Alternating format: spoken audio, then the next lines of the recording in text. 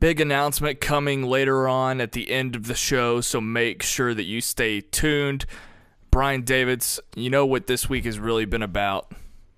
What's that? That damn Batman movie. Yet again, yet again. We'll talk about the Campea rant later on in the Collider section, but I want to know who's your first pick to direct a Batman movie, the next Batman movie? And you cannot pick Denis Villeneuve because we have confirmation that he is going on to direct Dune. So, who's your number two for that film? In a perfect world, Dave Fincher, but he would never do it because he swore he would never do another sequel. Even though it's not really a sequel, it still kind of is a sequely property. He swore he'd never do it after Alien 3. I would love to see Jeremy Saulnier do it, but he just got a project with Netflix. So we're in kind of a tough spot. I would I'm curious about uh, David Robert Mitchell, the It Follows director. Uh, he might be interesting, but frankly, I just want someone that is a fan of Batman. I want someone who worships the character.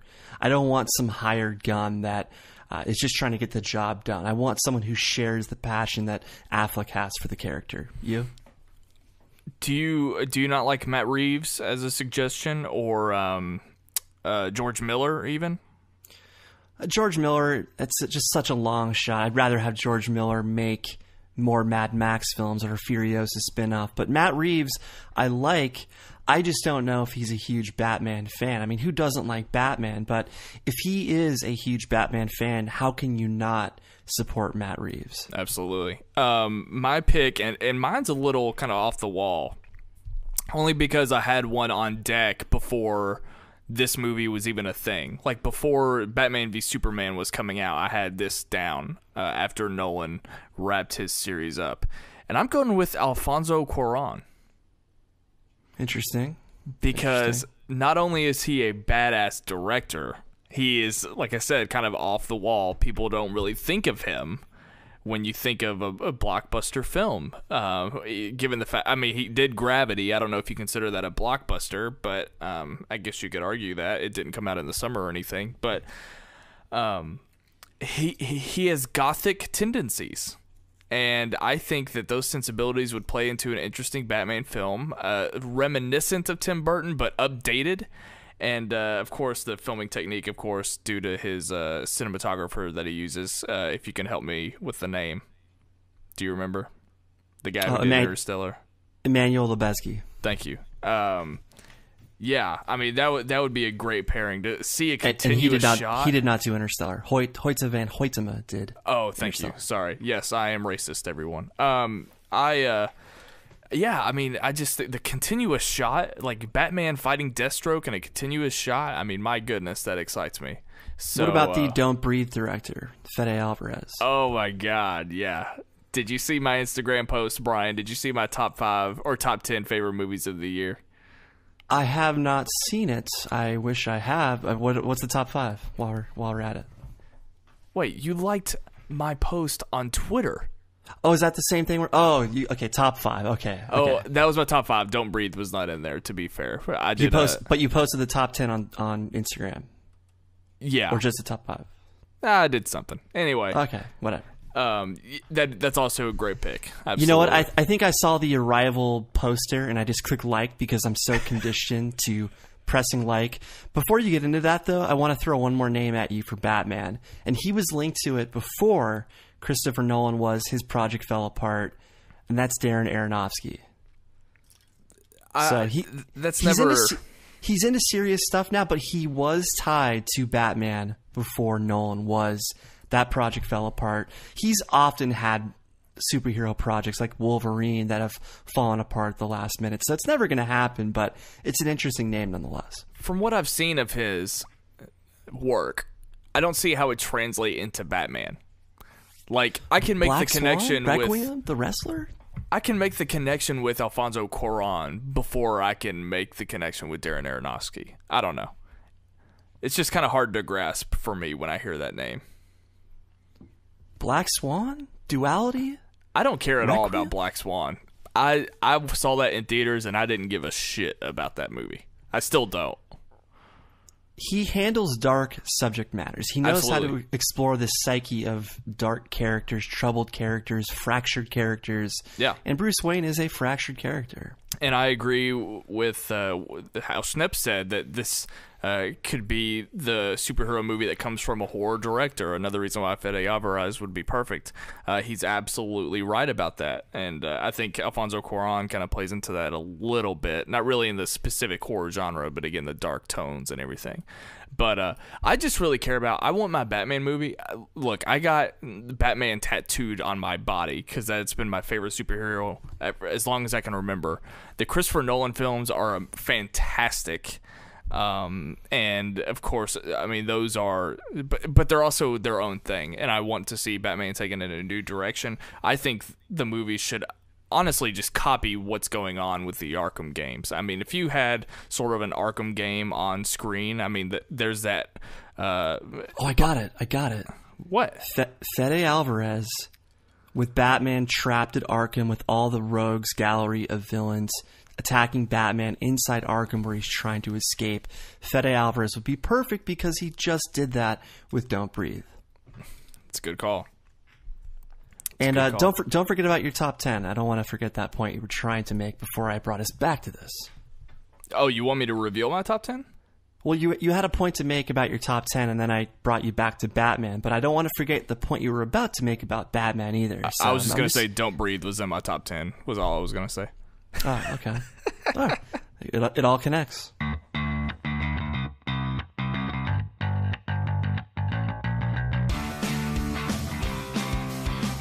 Welcome, one and all, to the Schmoeville After Show, your after show for everything Collider Video and Schmoes Know. I'm Ryan Snelling.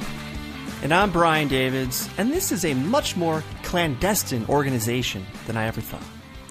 Can you provide uh, Webster's dictionary definition of clandestine for me, please? I would say it's kind of secret, hidden, shady in a wi- shady in a way, clandestine, underground, sneaky.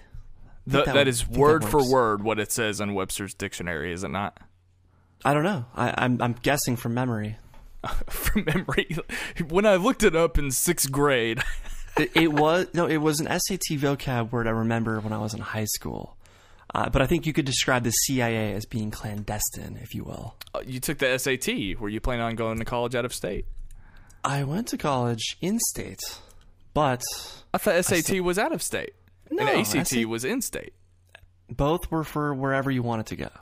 Oh, well, that's not how I learned it. Interesting. Well, Kentucky is one thing. Kentucky's got, Kentucky does things backwards. at least I'm not from Texas and have textbooks that are just completely wrong about history. Uh, there's that too. There's fictional history in Texas textbooks. At least that's what I'm taught here in Kentucky. I don't know what the, uh, there's going to be a commenter. Oh my god.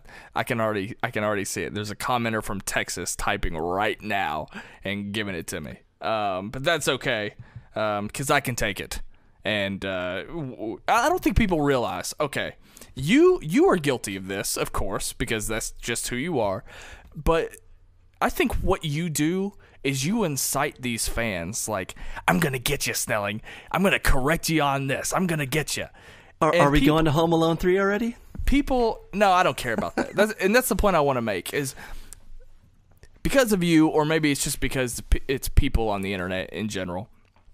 It could also be a California thing. I don't know where your excuse is, but they are so quick to correct me, and I don't, I don't ever really respond to it. I mean, there are times when I do, but for the most part, when I get a message or a comment correcting me about something, I I don't have the energy to argue because I just don't care. I just don't care at all. If I'm wrong, I'm wrong and that's fine, but it's just whatever. You don't 4 days later, if I get a text about Home Alone 3, I'm not going to care about it.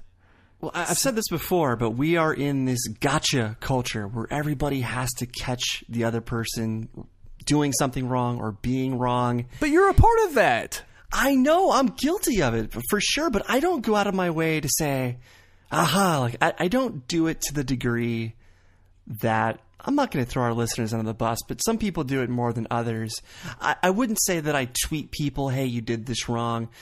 Uh, Maybe I do. I don't know. But maybe because I get it out on the show, I don't have to do it as much through Twitter. But with Home Alone 3, I just wanted to uh, basically clarify that I now understand why you did not remember a young Scarlett Johansson in Home Alone 3.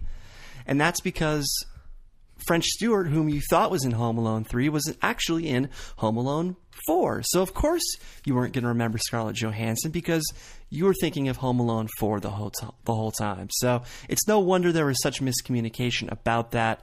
Uh, but yes, someone said uh, French Stewart was not in Home Alone 3. I went back and fact checked. Uh, for Scar for you say, I went back and watched the film, and No. I learned. I went back and fact checked though when we first talked about it, Schmoeville 34, I believe. And I just looked for ScarJo just to make sure she was in Home Alone 3, and I never checked for French Stewart. So it's partially my fault for not double checking, but I kind of relied on the fact that you said you own the movie. So, you know, it's strange that you own the straight to DVD Home Alone 4. I'm not going to lie.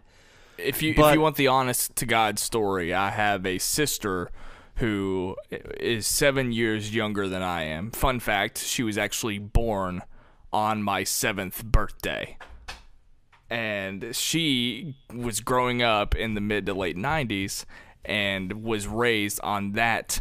Home Alone when I was See? raised on Macaulay Culkin's Home Alone. So that's why I could've blamed- knowledge and context of that. you could have blamed the French Stewart stuff on her. You could have blamed all of your French Stewart fascination on your sister. Hey, but I still saw Clock Stoppers. So That's true, but maybe she was the one who was watching Clock Stoppers, and you just happened to be in the room. Clock Stoppers is a damn good film. It's a better time travel movie than uh, Project Almanac. That's for damn sure. That's true. Well, the point is, since you owned Home Alone 4, not Home Alone 3, you are excused from not remembering Scarlett in Home Alone 3. However, you are not excused for once owning Home Alone 4, even though it was your sister's. Are we? Did we sloppily transition into housekeeping? Is that what we're doing right now? We we ha- we have yes. Uh, you brought. I mean, I could tell you're going towards Home Alone three when you were making the overall point about the gotcha culture. Yeah, I I got to admit I'm responsible for part of it because for some reason, uh, I don't know. I guess I guess what I put out into the world I get back. So if someone has the chance to correct me, they're going to take it. However, there It are doesn't people, happen often. Yeah. there are people like Mark Ellis who think they're correcting me, only they're not. And we'll get to that in a second. The one one correction I did appreciate last week was Cobster in the comments section. Uh, he was quick to point out, and I don't even remember how we were talking about it, Brian, but I think oh we were talking about missed Movies, and uh, I I said something along the lines of I'm glad she brings the the dynamic of uh, being a, a, of a family of being married with kids, and I so stupid so stupidly forgot that Brett Sheridan has pretty much been on the entire existence of Phase 6. I also forgot the joke that I was going to make last week. That last week's show, due to the couch and headphones, was so old school that it, Brett Sheridan didn't even exist on last week's show. Uh, so unfortunately, That's- I missed both of those things. That's why we forgot about Brett because he wasn't on the show. Therefore, he was out of sight, out of mind. So it's an understandable omission as to why we would forget about Brett when he was absent. So That yes, there statement are, right there are there just sent Brett to the therapist uh, for like three more visits. So. I'm about to send him again with the next point I'm about to make. But yeah, there are two people potentially that have families now that Kristian uh, is off in uh, Who Land. Uh, and by the way, I, I so regret not saying Kristian Who Left. I said Kristian who left last week. I wish I said Kristian Who Left. That's a good one. I know, That's right? good. I, I want to run something by you. Okay, let's hear it. The Schmoes, they, they did a review last week of Gold, and we did not address it on the show uh, because they had just uploaded it, I think, before we had recorded, so we missed it, basically. Well, it turned out that this was a fake review by Kristian. Mark had seen the movie, Kristian had not seen the movie. And I'm pretty sure that this fake gold review by Kristian was inspired by our show as we've been worried about the minimal amounts of Mark and Kristian videos these days. So Kristian, in effort to shut us up, did the video and we didn't even notice as I didn't watch the video prior to our recording and again, I'm not really interested in the film either, but Kristian, Kristian did this because he was paranoid about us. But now we've brought it back up and this week we only got one video with them too. So the the issue still stands. I mean, we get to him, don't we? We we get to Kristian. Absolutely. It's absolutely, absolutely. But it also kind of sh- shines a light on me because uh, I haven't watched their reviews in a while, only because they're about movies that I don't care about seeing because it is January. So that just shows how much content that I've been watching lately uh, from these gentlemen. By the way, and then someone, of course, pointed out that we're, we're probably missing all the fun on the the Loot Crate channel. Are you watching those videos over there too? Yeah, I've mentioned those on this show before. I've talked about them before, No, but haven't. I absolutely have. I absolutely have. No. Go, I'll I'll find the episode just to prove you wrong. As Please we don't. just just again, you challenge me. I want to.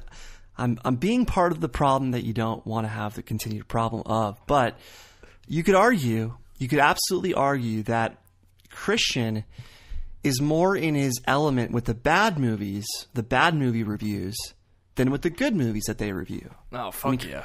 he's so good when they're reviewing a bad movie that he doesn't like. So that's why I watch Gold or Rings. The Rings one today was pretty good as well.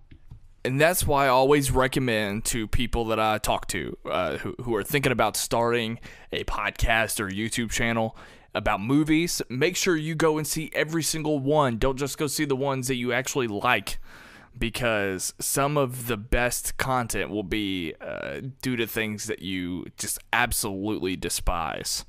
Um, yeah, and that's a great example. I love love seeing Kristian get pissed. I love seeing I love seeing a, a lot of people get pissed. I like seeing Bill Maher get pissed. I love when Campea freaks out about DC entertainment. I mean, it's uh it's great stuff.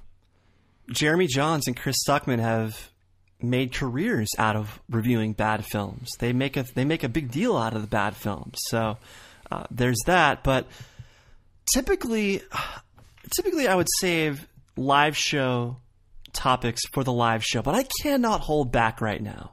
I have to get something out of the way because Mark Ellis and Brett Sheridan tried to slam me against the wall for this best friends term that I used last week to describe Mark and Brett's relationship. So let me clue everybody in here.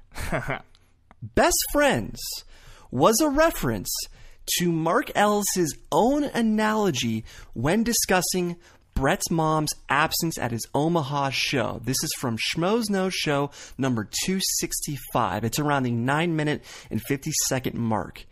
Ellis argued to Kristian that if one of your daughter's best friends was performing stand up comedy in the town that you lived in, dot, dot, dot, he, meaning Kristian, would have attended despite his current lifestyle. Kristian was saying, Oh, I just want to go home and sleep now. You know, I'm old, I'm tired, I just want to go home and sleep. I don't want to go out and watch the Yucks. But Ellis was so passionate that uh, Kristian would have gone had he known his daughter's best friend was in town performing stand up comedy. So I ran with that term, best friends, knowing full well that Brett was mostly Kristian's friend.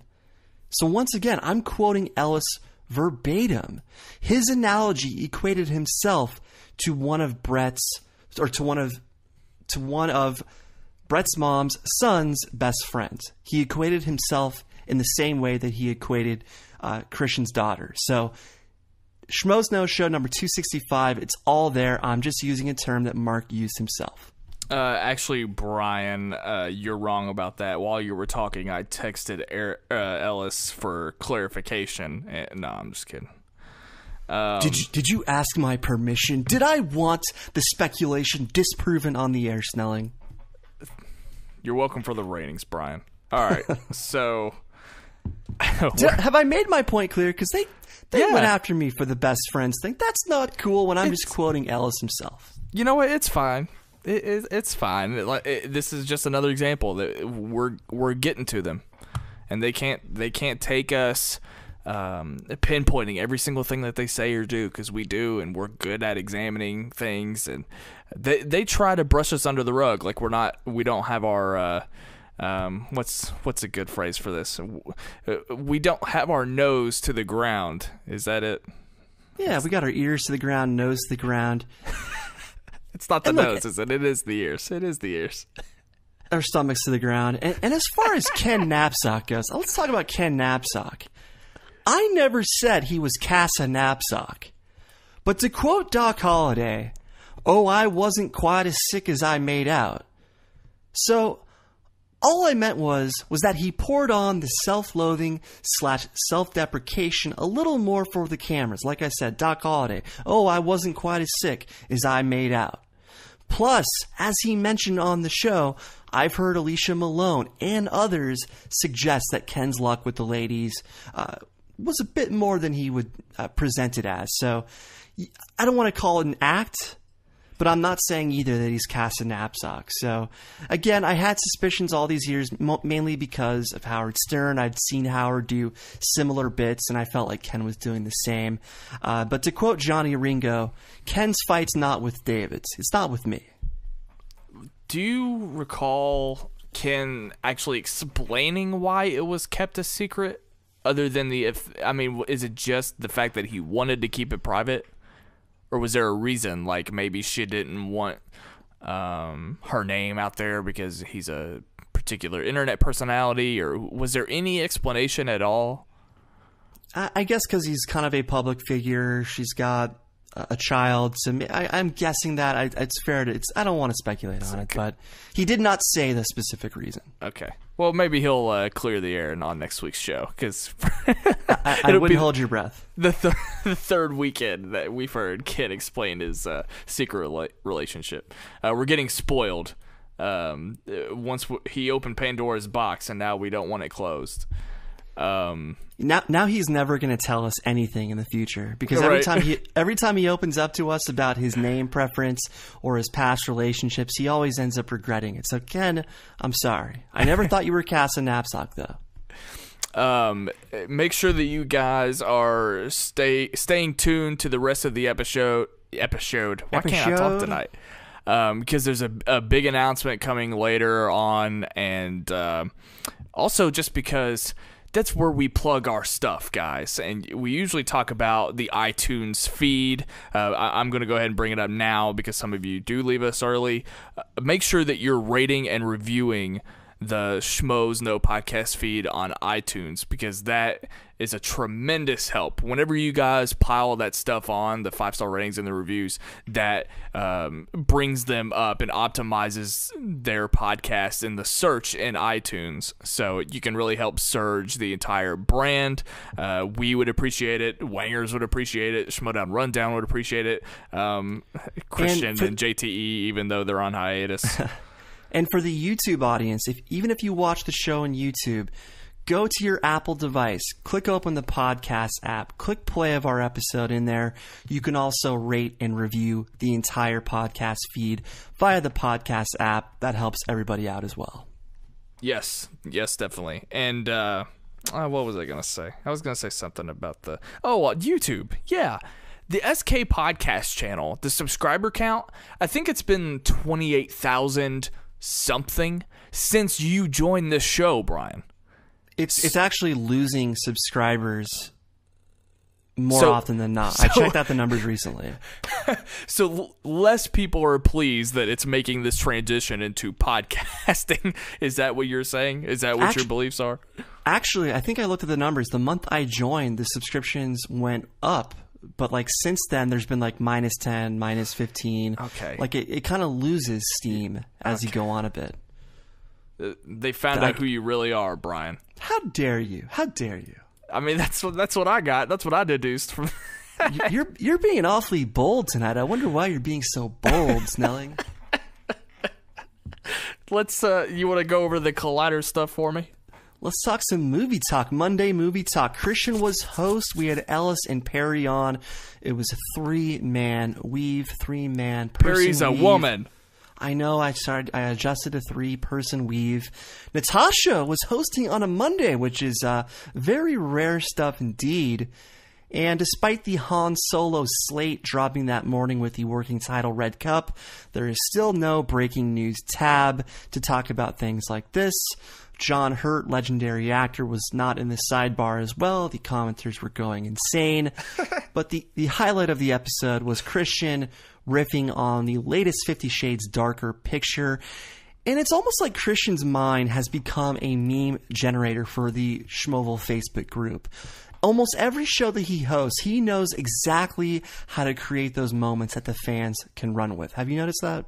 Yeah, I, what he says becomes T-shirts on on the Yeah, the T two public. finger toots. Yeah, it's crazy how people. I, I mean, but he's great though. I I, I still laugh all the time. Uh, he uh, texted me after he saw Assassin's Creed, and he let me know uh, that it was a fart parade, and I had never heard anybody say that, and I think about that and use that phrase often. Uh, credit goes to Kristian Harloff, uh, but of It's, course, it's like a fart crate or fart parade. parade.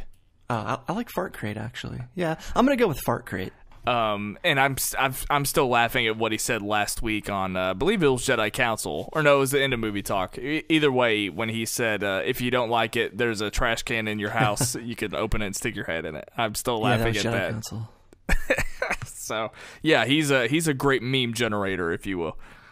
I think because he's looked at that Schmoeville Facebook group so many times, his brain is just partially conditioned to it.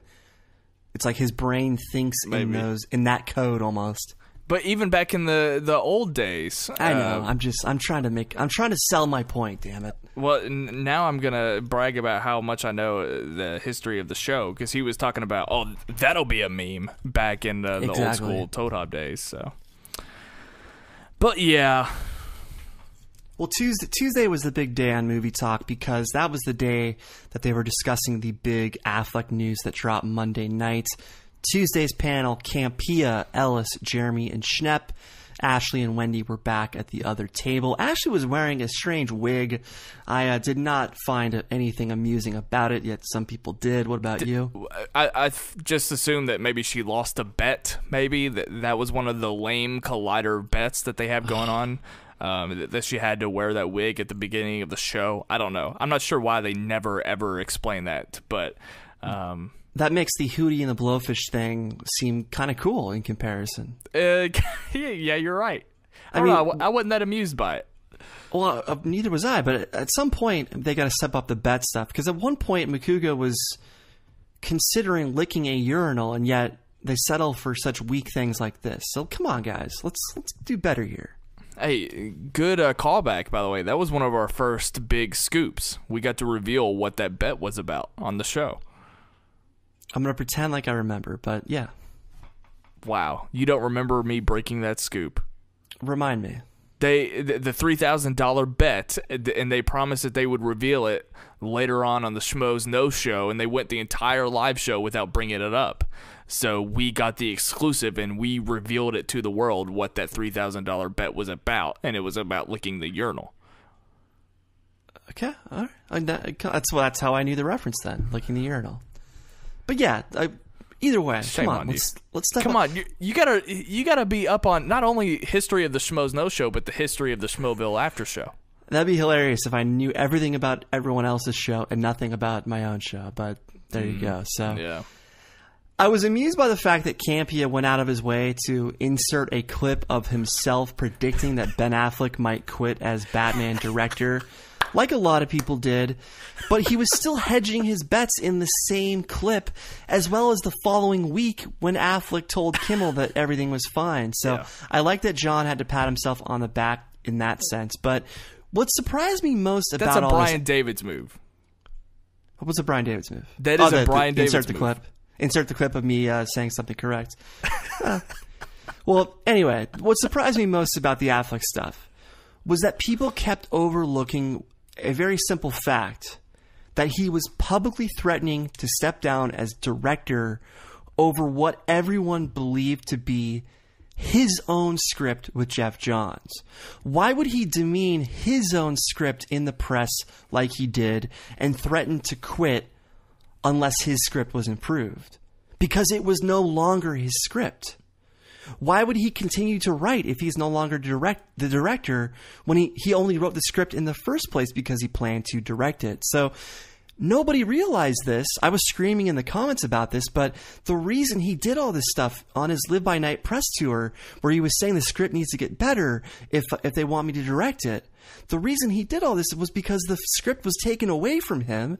We found that out later in the week. Chris Terrio had done a draft on it. Yeah. And this was him basically using the media and the fans to get the script back. And he was threatening to bolt if he did not get the script back. And no one pieced this together. They just assumed that he was still writing the film. And it made no sense why he would still write the film if he wasn't directing it. The only reason he would write it is if he planned to direct it. So I was going crazy in the comment section about this. It was then proved correct later in the week or the very next day. I was going crazy again about it. So, what are your thoughts on all this stuff? Well, th- this conversation on Movie Talk, I think, lasted 28 minutes. Yeah, it was way too long. My God. I mean, I don't think Ellis talked until like 12 minutes into the episode. Don't fact check me on that.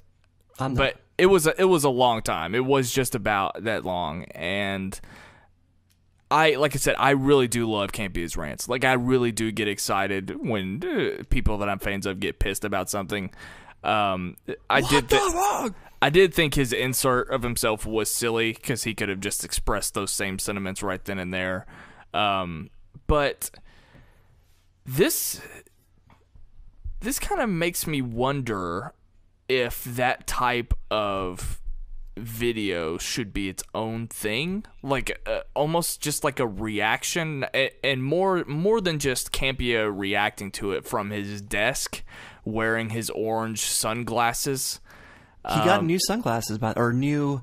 They're, they're, they shield his eyes from his computer. He got a new a new pair finally. I, how have we never discussed that pair of glasses They're a staple, man. They're just like the uh, the citrus siesta. He's, he loves the orange. And he never wears orange but he loves uh, other things that are orange. Um, what would you think about if they had just done like a quick video on this instead of i mean uh, it, it almost got to a point where i, I missed uh, the the regular format of the show and I would have preferred just a separate video and they could have just referred to the video much like when they refer to their trailer reactions. Because I saw this sidebar and I still wanted to hear everything else and at the expense of because due to the time we got less on everything else Yeah, they skipped over mailbag and So- breezed through everything else. But in hindsight, yes, it's the best idea in hindsight. But I don't think they planned on going that long.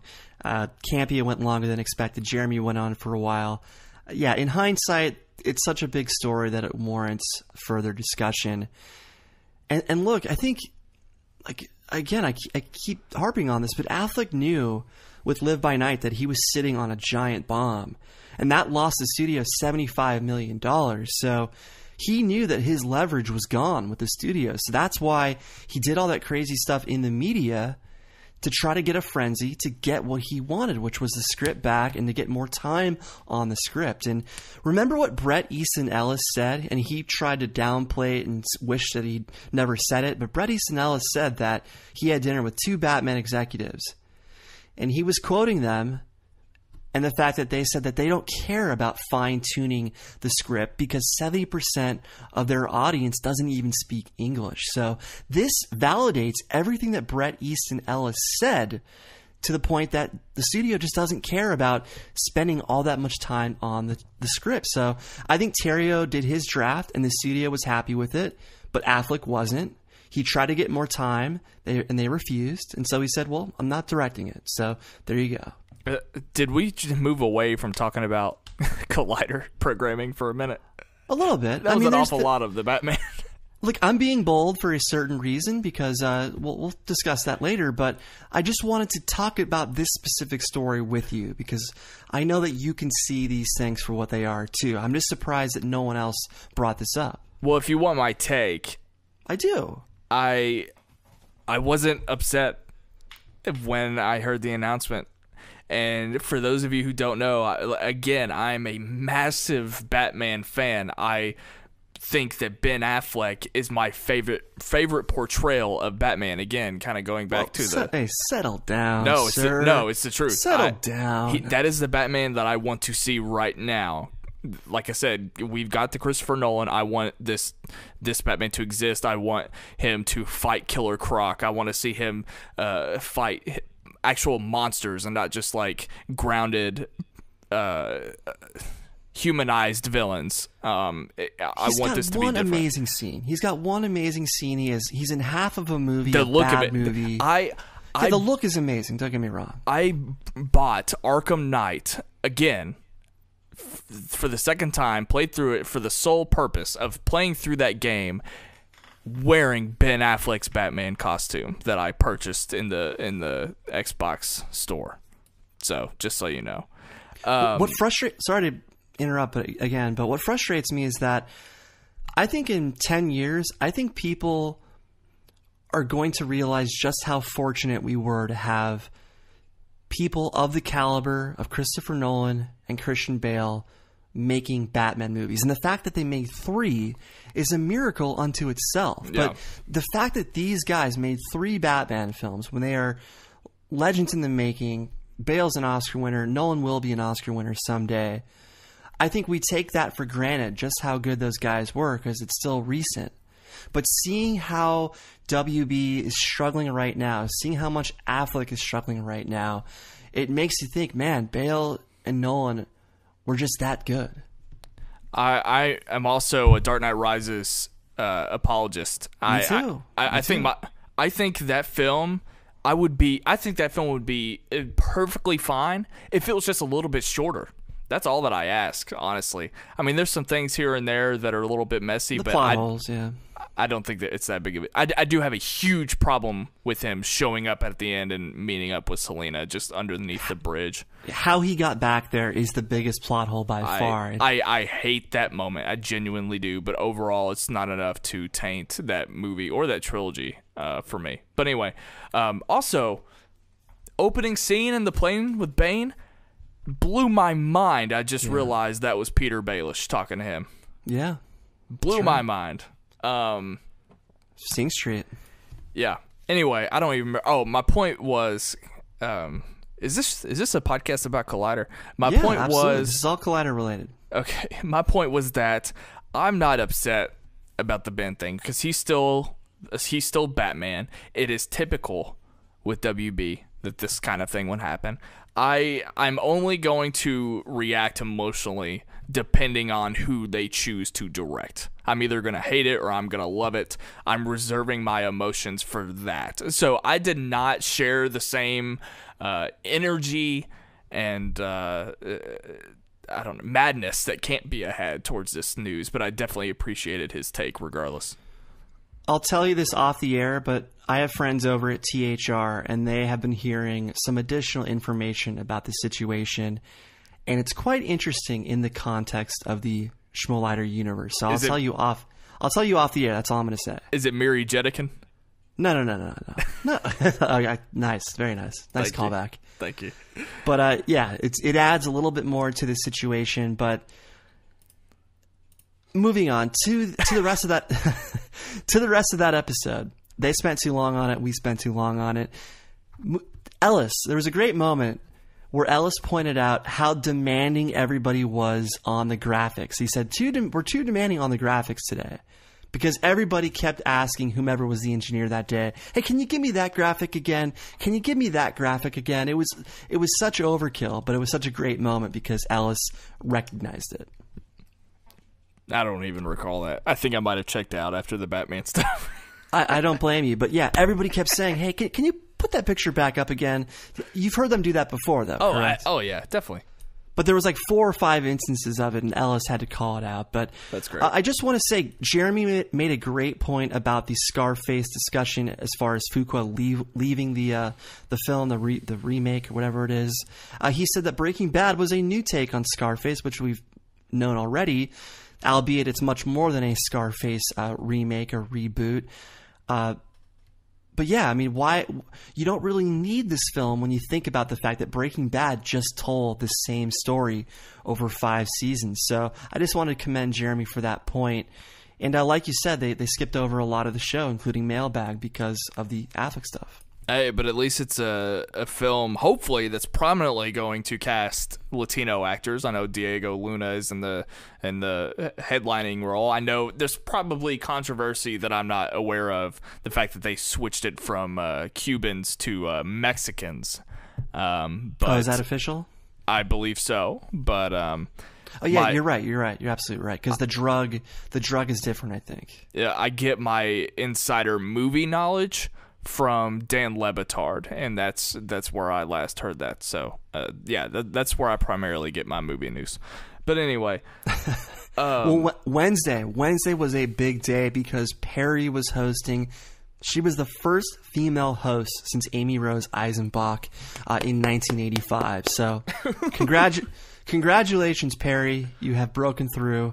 Uh, I like that this week mixed up the lineups. I like that we're no longer rotating Mark Kristian and Schnepp. I like that they gave us some Perri in spots that we wouldn't. any speculation on this? Uh, you you've been silent about Campea being gone from two shows. Well, on Monday, Campea was doing some awesome tacular stuff, so that explains that Conference absence. That ex- you never did your conference call, by the way. And uh, he, here is why. Here is why Perri is able to join us on this Wednesday. Kristian is now working every other Wednesday. So that means he's only on two days a week every other week. That creates more room for people such as Perri or Clarke. Did he tell you that? Maybe. Uh, funny because he didn't uh, answer me uh, when I asked him what his intro was about on Jedi Council. Well, I mean, there might, there, there might be a reason why he didn't tell you and why he would tell me instead. So uh, stay tuned, folks. Oh, I can't wait to hear this one. Um, I was shocked on Wednesday that they did not address the Chris Terrio news. Uh, no Batman rewrite story, no lead story for Denis Villeneuve and his official hiring for Dune. It was previously touched on as a rumor, but it was never uh, confirmed that day, even though it dropped. And and like I said, the Terrio stuff that is, that is huge because a lot of people thought Affleck was still writing. So I'm not going to re- redo that point again. But Thank you. fucking asshole. But Jeremy was. There, there was a strange moment with Jeremy. Jeremy was talking about all this projectionist knowledge. Like he used to work in a movie theater. He used to do projectionist stuff. He was at one point doing all this projectionist knowledge type stuff. Uh, I didn't understand any of it, but I just had to bring it up. And what was funny about Jeremy this week was that he kept biffing his Awesome-tacular plug. He would kept he kept saying uh, Colliders uh, Awesome-tacular. Oh, I mean uh, Go 90s Awesome-tacular. He kept biffing uh, the plug multiple times. So I just wanted to uh, call him on that. And should we talk about the Twitter question stuff? Yeah, let's do it. I think people have uh, people have a problem with this, Brian. We we get the texts or the the twitters, the twitters, the tweets tweeters, and the the messages. This is the most common message that I receive from our fans Well, for us I- to bring up. I think it's valid. I think we've addressed it before on the show, and the fact that we're bringing it up now, uh, for once in our lives, it's not because we've uh, lost things to talk about. It's because it's still a problem, and Well, what is the problem? the the problem is that whether they know it or not, I'm not. I'm not going to say that they do it on purpose, but Oh, whether they they know it or not, they happen to use the mailbag questions and the Twitter questions from the same people. Jonathan Peck. Jonathan Peck. Foom. Jonathan Peck also gets his stuff read out on Screen Junkies. So I, I want to know who this guy is. Because I don't think I've seen him on Twitter. I think I've only seen his name pop up via the shows. I don't even think he's in Schmoville. Correct me Well, if I'm got- wrong. Well, he's got to be on Twitter because he's sending in Twitter questions. But I, I, I, well, you said he's not even on Twitter, so maybe you meant that. Maybe that was a mistake on your part. But I looked at some of these guys' profiles, and during the show, they are consistently dropping question after question after question, and that's ultimately spamming the Collider mentioned. So Who is this here's what I propose: Wendy, mute Jonathan Peck. Mute Phil Fang Foom. Mute anyone who consistently gets their que- their question read on the air. Give some time to some people who want to have their que- questions read. We get so many complaints from people about this, and and look, I mean, people tune in as your loyal viewers for years, after, year after year. They tune in every day. They're loyal. They just want to have their moment in the sun. It's a big deal for a lot of people. I remember my first time that a question of mine was read on the air. Uh, I went out and I, I did something drastic. So please make another person's day, read their question on the air, and mute Phil Fang Foom. Uh, I'm I've got two candidates for for Jonathan Peck on Twitter. One loves space, music, and public radio. Um, I guess he's interested in podcasts, if that's the as well. So maybe that's him. I also got another one. He's a huge fan of the Redskins, a Star Wars geek, a Marvel geek, a Disney fan, Harry Potter fanatic. Oh, we might have a winner here. This might be the Jonathan Peck. I wonder if he deletes them all once the show ends. I wonder if he deletes all of his messages He- to cover up, to cover his tracks, to cover his trail. He recently retweeted Nick Mundy. Um, he is hashtagged after the, this is it. Oh, this is him. JPEG 1098. That is him. Um, if you type in Jonathan Peck, at least for me, I just searched it on Twitter. For me, on Twitter, I searched Jonathan Peck, and the very first search result was literally Screen Junkies. And that's the thing. There are plenty of fans who are loyal, who are monogamous, that are not uh, splitting time between both the channels. There are plenty of people who are just Collider, Collider faithful that just want their question read. So I, I realize what's happening. I mean, Wendy, it's she's kind of caught up in the moment. There's a lot of pressure to pick a good question, and her mentions are spam full of questions from the same people. So inevitably, she has to pick the same people. So if you mute the same pe- people, you will get new people. Do you mute the remember- same, get the new.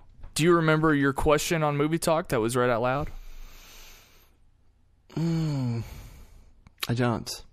Mine was, uh, for one, I was very excited. I believe this was my first one. I was very excited and could not wait to hear their answers, and they just absolutely disappointed me. This was This the day question's garbage. They probably thought it was garbage. This guy will never host an after show on our network. they they acted like they didn't even know what the news and I and I couldn't stand that because as a film fan I was so pissed off at the news that Joseph Fiennes was playing Michael Jackson in a road trip uh. 9/11 movie single-handedly the dumbest news headline I've ever read in my life. I was furious, wanted their take, tweeted it to them. It took me 4 tweets. Like I just copy and pasted four tweets. So uh, Pretty Ashley would read it out loud, and finally they were just like, "Oh, I didn't know that was happening. What's next?" And it's like, really? And it looks even worse now that we've seen an actual still from that movie. It looks even worse. They canceled sounded. it because They of the, it. because of the backlash of the picture. They decided to uh, kibosh the thing. Like so they made the film and now they're not releasing it. it's apparently like part of like this TV s- series, like TV movie thing, and it's like one. It's one of several stories, and they're just kiboshing that whole thing. So Yeah, Paris, Paris Jackson was super offended about it. it was, that that's just that is so wrong what they did there. But uh, that is an interesting first question. I'm going to be racking my brain to remember what mine was. Uh, moving to Thursday, Griffin was on the panel for Thursday along with Kristian, Jeremy Jahns, and John Campea. And uh, Griffin does this thing because he was on a bunch of shows this week TV Talk, Jedi Council. He does this thing that's very funny to me he always brings up what they talk about on TV Talk. Uh, we, we talked about this on, on TV Talk. We actually gave we actually gave the golden remote to uh, Sterling, Sterling, K. Brown. He always brings up the other show's conversations on the show that he's presently on. He's so I was actually amused by that. Yeah, he's absolutely excited. He loves TV talk. I, I can't stand his laugh. I hate it. I'm not gonna lie. I can't stand it.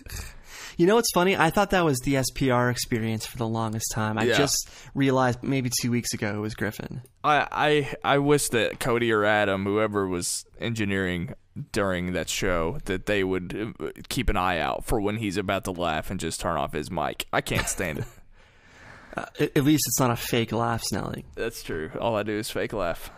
Uh, but on Thursday, they did address the Batman rewrite, which they did not address on Wednesday, and they let off the show with a Kong Skull Island spoiler. Uh, do you think that's a good thing to do when the movie's close to coming out? Is to lead off with something that uh, we're about to see in about five weeks? I mean, why, why not just wait? Why report a spoiler? I hate. Yeah, I, I don't like the idea of spoilers in general on their shows. No offense, Mark Riley. Yeah, I, I, I don't care for it really. Um, again, maybe a separate video would work for that, but um, I don't like it too because I, I, sometimes I get caught up on watching it on Xbox or something, and my controller's off, and by the time that spoiler thing pops up, they give no time. So I'm trying to turn on my controller and pause or or and I can't get to my remote and mute it, and then the damn thing is spoiled for me. So I don't even think that spoiler tag. They think it's foolproof, but it's not, depending You on how what? you're viewing the show. typically you're right. However, lately they've been doing this countdown thing. At least some of the shows, uh, they've been doing this countdown thing to allow time for people like you to then uh, adjust for it. So Look. it's. I know it's not foolproof. Yeah, I know it's not foolproof. A- And Riley could text me and tell me that. Well, you know, I mean, it's our job to report this kind of stuff. That's that's fine. I'm just saying that I I don't particularly care for it.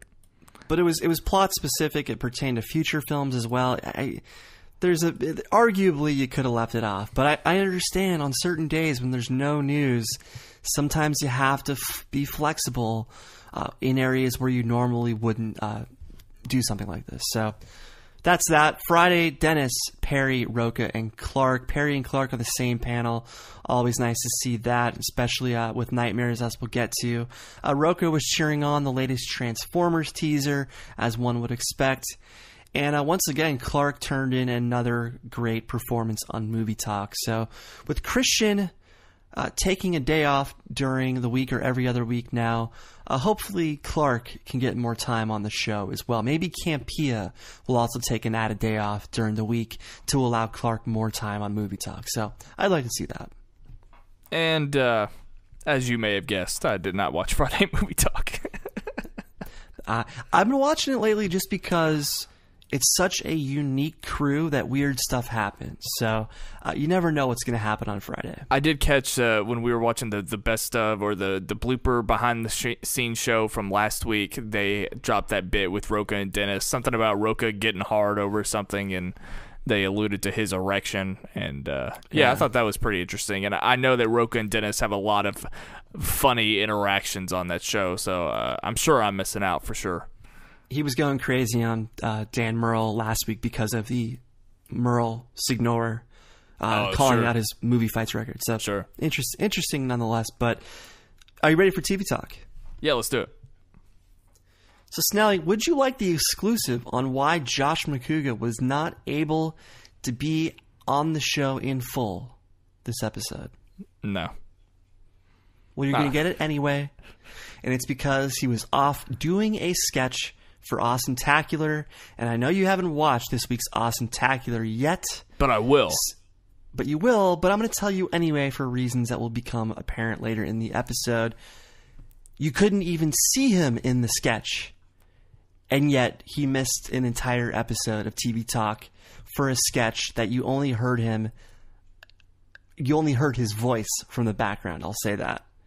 So we missed out on our boy, the Wild Man, because of a voice appearance on Awesome-tacular. Well, if you're gonna replace Macuga on TV talk, you do it with Roxy Striar, okay? So I have absolutely no problem with that at all.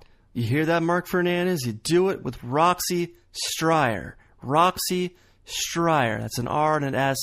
It's not an E. It's an R and an S.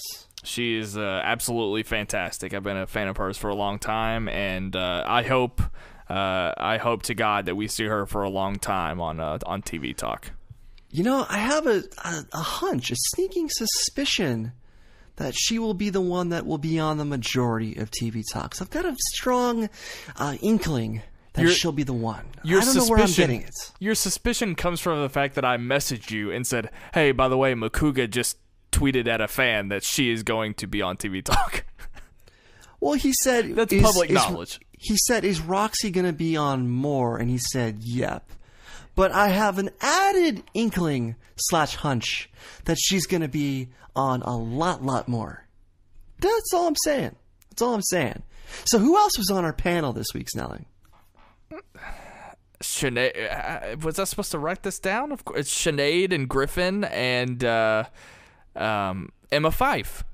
Yes, the Fife Dog is back on TV Talk. That's a reference to a tribe called Quest. Do not say I'm being offensive because I'm not.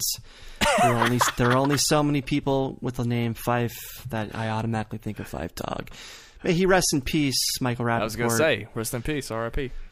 But uh, yeah, Roxy was fantastic. She was uh, very on point. It, it seems like she's hosted another TV related show before. I you would think. You would think, right? And hey, yeah, absolutely. The the best thing about Roxy from this episode, still repping the leftovers, the most underappreciated show on the planet. I hope to God, as long as she's there, she is talking about the leftovers because uh, more people need to watch this show before it goes away because they are missing I- out on one of the best dramas of the decade. I got to fact check her though because she was like, "It's ridiculous that the show isn't having more seasons." Well, to be fair, uh, Lindelof specifically wanted three seasons. He wanted a Yeah. beginning, middle, and end. So it was his choice to end after three seasons. I'm sure if the show had bigger ratings all along, I'm sure he would consider going longer. But uh, he started and ended the show exactly as he wanted to, with a beginning, middle, and end. Yep, absolutely fair. But uh, it was an interesting episode, uh, despite some people missing. Macuga wasn't there, but uh, I'm excited to see more Roxy on the show. That is for sure. Uh, moving to Heroes, Schnepp was back on this week. Maybe he was back on last week too. I can't remember. But he's been going back and forth with the glasses, without the glasses, with the glasses. Some people think that he had LASIK surgery to explain his Jon Peters related absence. So uh, the jury's still out. Yeah, who knows? But I like the look. I kind of think he looks like Nick Offerman sometimes. Yeah, maybe. Not Maybe. and not like Ron Swanson, because that's not what Nick Offerman actually looks like usually. I think they look pretty similar in the. I don't know. Maybe I'm totally wrong. But if you think I'm wrong, by the speaking of looking alike, you remember how we talked about X23 looking like Cody Hall, and you and you accidentally thought that I was talking about Cody Miller. I See, I thought you were talking about. Okay, here. Well, I here's thought, my you, I point. thought it was the opposite. I thought it was the exact opposite. I thought you were talking No. about. But here's what I'll say though. Okay. I said that I saw when I watched the the Logan trailer, I saw Cody Hall's face. And I think you said Cody Miller, but you no, meant no, no, no, Cody no, no, Hall. no, no, no, no, no, I think no. you said Cody Miller, but you meant Cody Hall. Oh, Hall. okay. I, That's yeah, that's fine. Regardless. I see the I see the Cody Hall stuff though. I absolutely do. no, what I want to say though is when you said you thought I was talking about Cody Miller, and I was like, no, no, no, no, Cody Hall. The more I thought about it, she actually looks exactly like Cody Miller. What? What? What are you talking about? What? Look at Cody Miller. He looks exactly like X23. You're absolutely right. I was wrong. If anybody looks like X23, it is Cody Miller. You should be pulled over during this podcast. Look, just go look. It is, I mean, they have the long, they have the same color hair. It's long. He he deserves uh, to to be cast as her stunt double or something. I'm calling 911. okay. I'm The hair hot. has nothing to do with it. The face. Cody Hall's face is kind of similar to her face. I'll give you that. She doesn't really have eyebrows. Neither does Cody Miller. Yeah, there's that's. I mean, that's kind of it. So the the mouth is kind of similar. I don't know. Not that I've studied uh, Cody's mouth or Did you Google image uh, X23 there? or- No, no, no, no, no. But once you said it, I, but I think you you initially said Cody Miller by mistake, Sure. and that's what confused me. well, but, uh, I, I don't. I don't care. but now you're flip flopping to Cody Miller. Yeah. Um, I don't think Jason Inman has been on this show in January, so I, I don't know what his deal is. Maybe he's busy with that new comic that he's making with Ashley V. Robinson, Victoria Robinson. It's like Jupiter Jet, something to that effect. Uh, proceeds go to Yeah, a I be- charity. I believe they're working on that right now, currently getting that off the ground. So So maybe that's why he hasn't been on this year. But Amy was on, Robert was on. A good show as always. Snelling, let's talk nightmares. Um, actually, you know what? Let, let's do something different, Brian. I don't want to talk about Different? nightmares. Different. Well, here's the thing. I'm gonna have to apologize because it's people that like me that put nightmares into this situation. and I'm feeling so guilty. You Son of a bitch. You son of a bitch. I'm so sorry. It was just the one show that I had to cut throughout the week. But um You're a disgrace. but but I will say that for- that that never diminished the quality that I thought the show. I mean, there's no question that it's a quality show. It's just not the one that was for me.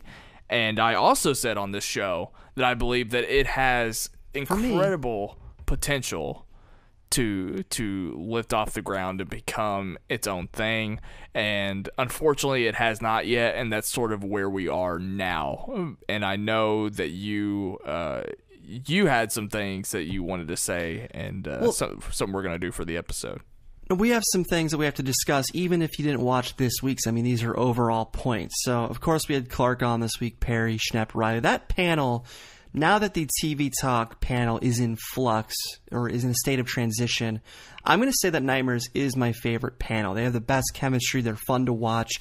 Regardless of what they're talking about, you can still enjoy a show just for the panel alone. So, people check out Nightmares for just that. Right now they're at 29,000, so right now the views are doing really well. And here's what happened. News dropped on Tuesday that the show is on the bubble. It's in danger unless unless views pick up uh, over the next few shows. So everybody's been tweeting about it. All the hosts, uh, Facebook groups been tweeting about it. Uh, Clarke reached out to me at the last minute to uh, update the status of the show. So we did a, a last minute interview on Thursday, and uh, spent about an hour talking about uh, what's going on with nightmares. So let me let me actually preview some of that for everybody right now. Something that we're going to try next week and tentatively maybe for the rest of our run. Um, we're going to try and go live actually uh, on our next episode. And so i want the audience to know because we've been sounding the alarm that we might get canceled when nightmares doesn't show up in your inbox on wednesday at 8 a.m pacific standard time. Don't give up on us. We haven't quit. We're gonna we're gonna do the show live.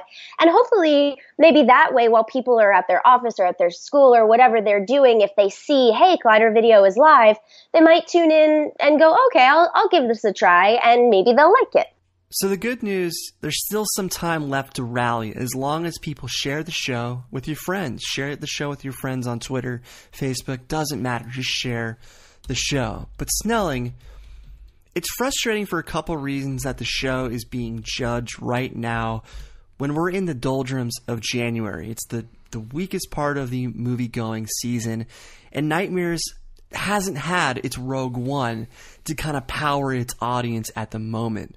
Uh, if Kong was out right now or about to come out, I think their their numbers would look a lot different. If War for the Planet of the Apes was about to come out, I alien covenant A- Alien Covenant, if they had a big genre tentpole that would power a big portion of the audience that is kind of checked out right now because it's January and you've got stuff like Bye Bye Man and Rings uh, to uh, kind of take up space. So, do you think it's kind of unfair to, to judge numbers? I mean, I realize they're in a numbers business. This is what corporate requires. You have to get numbers, but it's it's just frustrating from a fan perspective that uh, this is the toughest time of year to get ratings, especially uh, in the horror genre. So tell me your thoughts on that. Sorry, uh, something just leaped into my throat. Let me take a sip of my Lacroix. No, um, Is it Samara's hair? Oh yeah, the ring. Okay, That, that's that's from the trailer where she someone pulls hair out of their throat or something. currently is zero percent on Rotten Tomatoes. Uh, Seven percent. It's up to seven percent. oh, good for it. Um, And I'm gonna tell my ring story later in the episode. please don't. Um, I have to. I have to. It's so fitting. oh yeah, I know. I know why that's coming up. Um, it's it's different with top ten. I mean, I think I appreciated top ten, and I always wanted Collider to kind of feel free to branch out and not be afraid to branch out with that type of show. Unfortunately, it just didn't happen with this. Like I said, I mean, the potential. I mean, the way that Jedi Council is taken off, the way that Heroes is taken off, Nightmares can do it. I, do, I don't know. I don't know what it is that that failed the show. I mean, you think that they would have opportunities to promote their brand, whether it be at like conventions or, or or, finding these great guests that they find, or picking up like another after show. I know Ash, we talked a lot about the Ash vs Evil Dead stuff, um, but it's just I've it had everything going for it, and I don't know I just I don't know enough about it in the studio, and I'm sure that well I might maybe not get a text from Kristian and he can explain it to me because uh, he does like to school me on these types of things. But uh, yeah, I I just don't know what it is. I don't know if it's them not wanting to help. I mean that's kind of how I feel about it. My my impression is that maybe Collider or Complex or whoever you want to say isn't putting enough into the show um, they might be able to to argue that, and that's fine. But that's just my opinion. It's like almost like they don't. They no, they think, aren't fighting they want for the it. show to succeed. I don't know. I just I, I just I mean, my impression is that only Clarke is fighting for it, and um, well, well, Schnepp was Schnepp was on Schmoes. He promoted it on Schmoes. The, the, okay, he, the panel. I I meant the entire panel, the people part of the show, but no one else. I don't know. No, I mean everyone on the panel is tweeting up a storm. I mean Schnepp again. Schnepp uh, leaked it. Yeah, exactly. But it's frustrating when I see people in the Facebook comments say things like, "Oh, I don't like horror, so I'm not interested in." A horror show. Yeah. Well, that's that's the thing. It's more than just a horror show. It's a genre show. They talk about everything from Stranger Things to Jurassic World to Alien to Apes, as well as the mainstream horror and indie horror. So, if you're just a fan of genre, this is the show for you.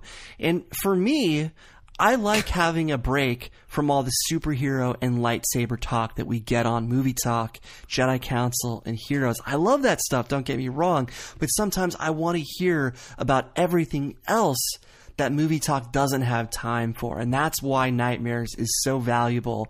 And I have not looked at these six months of releases in 2016 before Nightmares came on the air. They came on the air in June 2016. I'm wondering if they missed out on a big tentpole that would have given them some added traffic, some added audience that they could have piggybacked. But I feel like they've got, they got a lot of good horror films in 2016. Well, they had uh, Conjuring 2 at that time. They took advantage of that. They had Don't Breathe as well. I mean, they that, had... that was a, that was a surprise hit, of course, and they got a ton of good traffic because of Don't Breathe. Uh, but I wonder how they would have fared if they had these existing IPs like Alien, like Apes, like Kong waiting for it, ready to benefit. So sure. I would hate for the show to get canceled before they reap the reward of Kong, before they reap the reward of Alien, before they reap the reward of Apes, before all these big genre temples come out. Uh, it would be a shame for them to, to miss that because it's a great show. They are active. They get great guests. They sponsor events. They are producing films. They're they are the most active show outside of the Collider studio, yeah. and we cannot let this show get canceled. People, we just can't. So again, share the show with your friends on Twitter, Facebook, whatever it is. Just get it out there. Maybe so, so far, so far people are responding though. Twenty nine thousand through two days. Maybe it is a little bit like top ten because I, if you guys support this show or don't support this show rather, then I just don't want Collider to be hesitant uh, about starting a new show and trying a new show. And the fact that the two most recent, two of the three most recent additions to their programming have been canceled, um, or you could count Best of the Week as well and make it three of four. Uh, I just don't want them to be afraid of that. And I know people like me suck, um, but um, if if the assumption that the show is just about horror is the reason why you didn't watch the show knock it off because that's not the case and i never i was never confused by that but we we just don't want them to rely on the shows that have already existed for so long because we want know, them to I, branch out I know you weren't confused, but I, I read all the comments on Wednesday, and there are a lot of people that still think it's just one thing, and it's not yeah. just one thing. Nothing is one thing in today's movie landscape. Everything is uh, horror meets thriller, horror meets sci-fi. There's so many genres fused together right now. So, um, best of the week. That I'm not going to say that was canceled. They just it, it evolved into something else. They took the best parts, turned it into another show. So I'm not going to consider that a cancellation. But here's the big difference between Nightmares and Top 10. Collider is entertainment news. That is the brand. That is what Complex bought into entertainment news. The current shows on Collider Video, Schmoedown aside, that's that's the outlier, that's the aberration.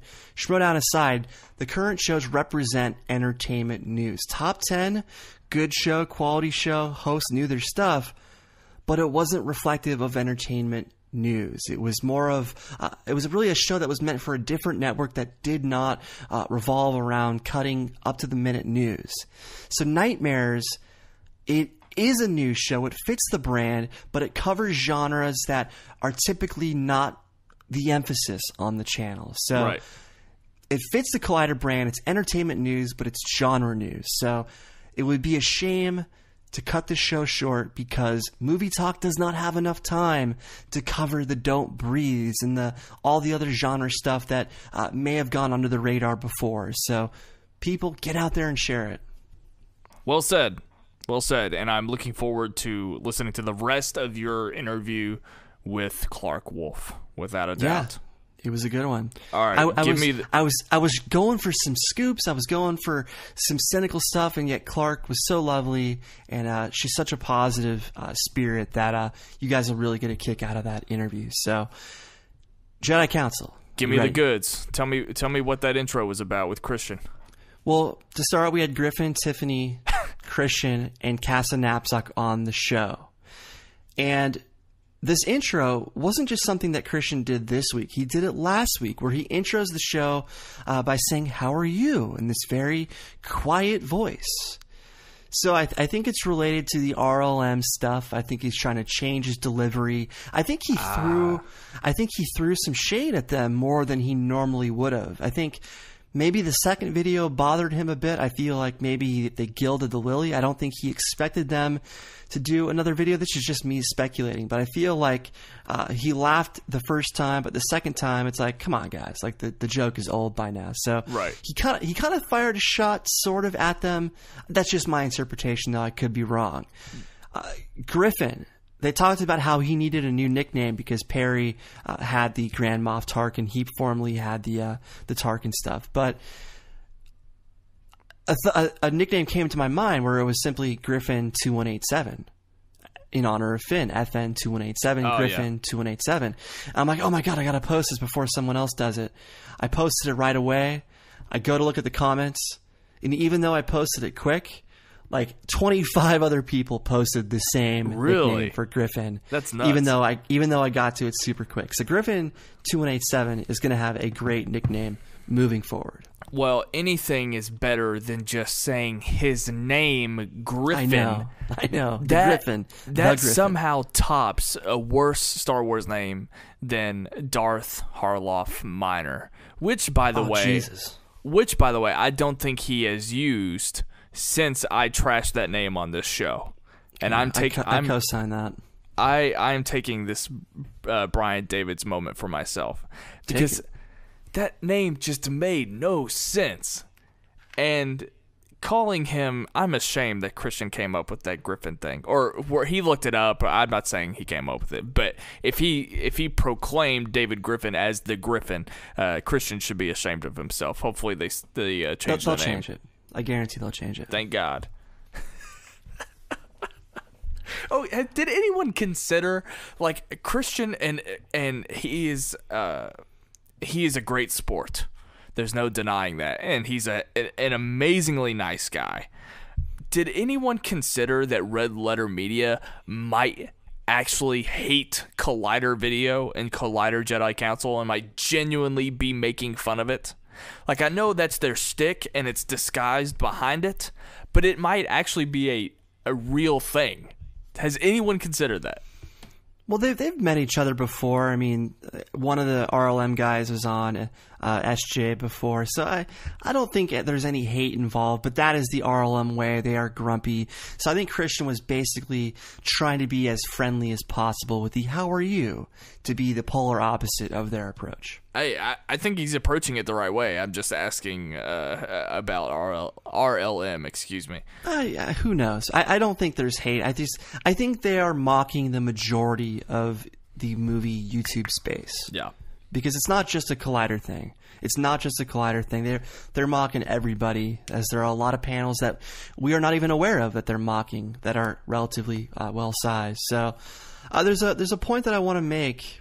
Kristian, every episode makes a prediction about uh, what he thinks is going to happen in the sequel trilogy. Well, Kristian once again he had he had the they're all gonna die twinkle in his eye when predicting the fact that Hayden Skywalker's Force Ghost would appear at some point in the sequel trilogy. He had that they're all gonna die twinkle in his eye once again. He had it last week when he was betting Perri over something, uh, Filoni directing. He had it once again in this episode in regards to Hayden's Force Ghost. I, and I hope it's the truth. I mean, I think that's something they should absolutely do. I, I spoke about it. Yeah, um, makes sense. I, I, spoke about it even around the Force Awakens time. I mean, to bridge that gap makes total sense. I think it's actually one of the best things they could do for the entire franchise in general. Um, I so mean, what else? What else can you? With Leia no longer in the picture, Yeah. you have to pay off Ren's arc somehow. And if it's not going to be one of his parents, it's going to be one of his grandparents, a grandparent that he worships. It makes perfect sense. A grandparent that he will be disappointed to find out has uh, accident or very swiftly switched to the light side before his death. So we'll see how that plays out. Hey Kylo, I hate to break it to you, but I'm back on the light, baby. You did this for nothing, champ. Wait, I thought he found out this. Someone said in the novelization that it was explained that Kylo knew about Vader's turn back to the light side or Vader's redemption. Don't give Kristian another reason to correct us. No, I think he told me though. This is where I'm getting it. So Kylo already knows, but the confrontation could be from Hayden's Force Ghost in order to resolve the Kylo Ren arc, which would be really cool. I wouldn't mind seeing Hayden back. I'll just say it that much. So, No, I agree. uh, Snelling, let's get to Crash Course Part One: History of Batman on the big screen. What'd you think? I mean, this has been pretty much a Batman after show. This whole thing. That's true. but uh, God, I loved it. So Um, good. I, I thought I was gonna actually watch it and uh, just hear a bunch of stuff that I already knew, and I did not. And obviously, that's the genius thing about Crash Course, and that's the whole point of the show. Um, I'm I'm excited that there's a part two coming. That's for sure. Um, but uh, Schnepp is always I don't know what it is. Whenever he hosts things, it's always just for some reason uh, goofy. And I can't really explain it, but I, I love watching him host for some reason. He just makes me laugh. But uh, I, I thought of a Schnepp analog. I thought of someone who reminds me of Schnepp. He's a celebrity, but I, I completely blanked on who it is right now. Nick But he reminds- Offerman. Not, not, not talking looks, just like person. He doesn't look like Schnepp, but he has like the same vibe as Schnepp. That kind of easygoing makes everybody uh, feel better just by being in his company. I'll, I'll think of it. I'll think of it later. Yo, what's up? So yeah, kind of. Snap totally. is an absolute gangster. the mannerisms. Yeah, it's hilarious. Did you ever watch the old school Batman TV series with uh, Adam West, Burt Ward? no, no, I haven't. I'm such a big Batman fan that I've seen every episode. I wa- I've seen the movie, of course. There's there's no way I could stand it. I already know that I wouldn't be able to watch it. you got to understand, 1989, I saw Batman, Tim Sure. Burton's Batman, in the theater. I saw Batman Returns, of course, and then there was a big drought for a few years at least. And during that time, that was time to watch the the old school TV show. It was on on in syndication for. It probably still is. It's it's still on in syndication. So I I caught up to it, and uh, it just even in that cheesy campy format, it's still the greatest fictional character of all time. Guess which Batman film I saw in theaters for the first time? The first one. I bet the first one that you saw was Batman and Robin. You're correct. Yeah, I figured as much. That's a shame. That's that's a shame. That's a very big shame. I was seven years old, so I didn't know how bad the film was at the time.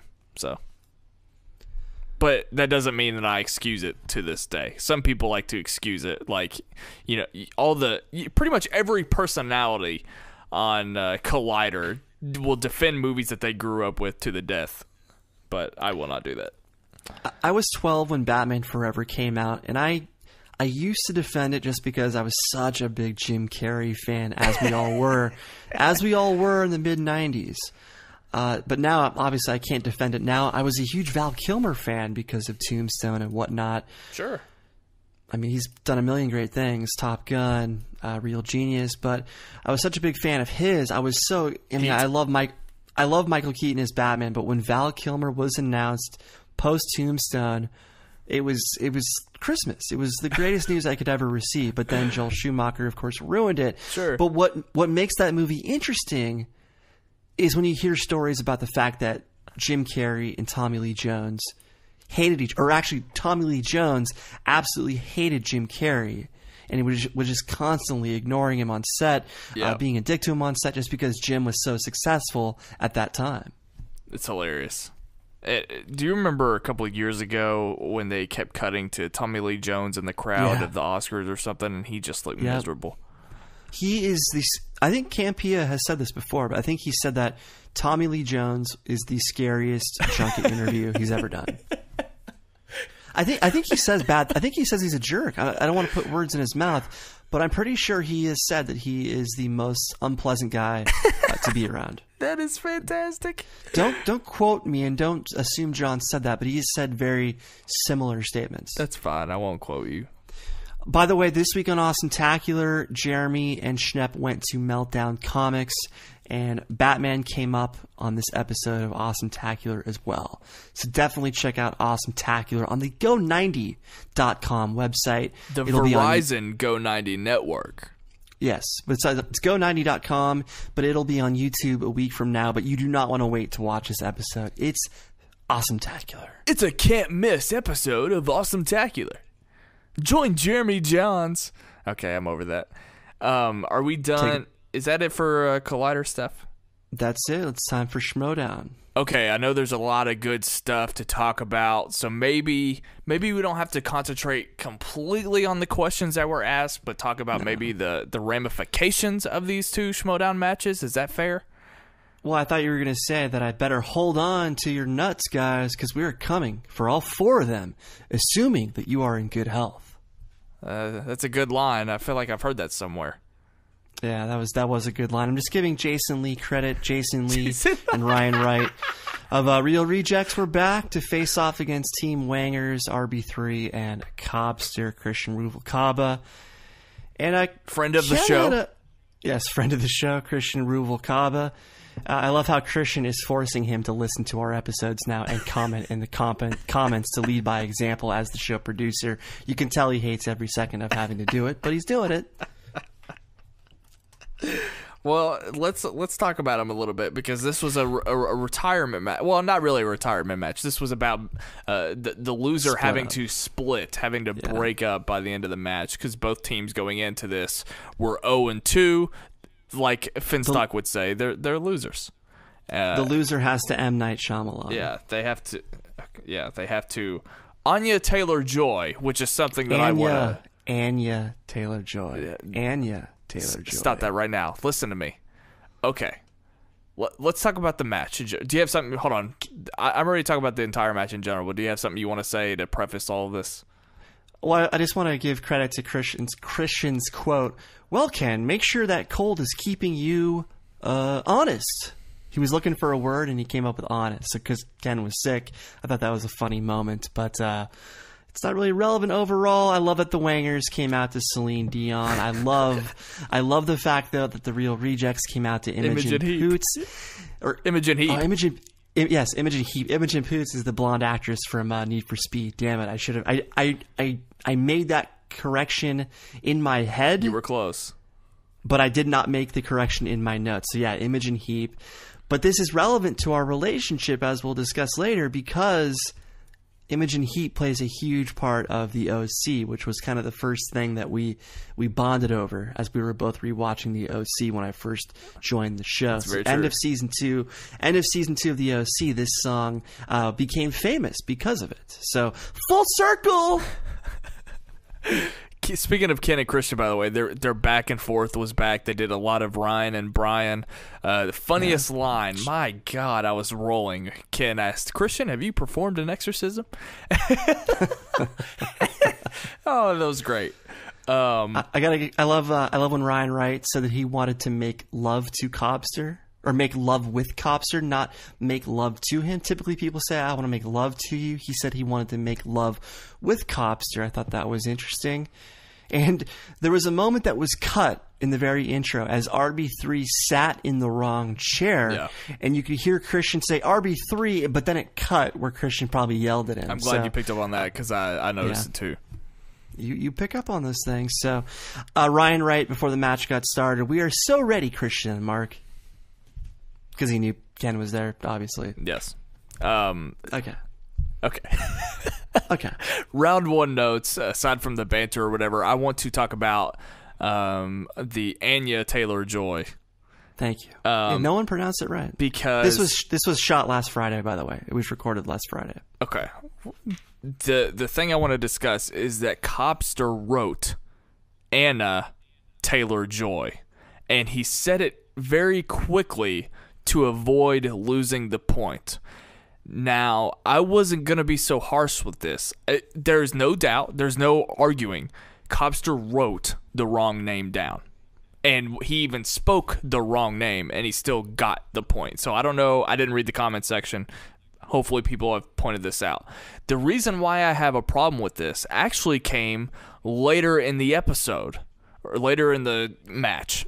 Um, okay. The, well, in that same in that same question though, Ryan Wright wrote Anya Taylor Wolf. Yeah. And he got it wrong. So yeah. both misplaced one or both got one word wrong, but Cobster got the point. Exactly. Exactly. But you, I, I know what point you're going to make later.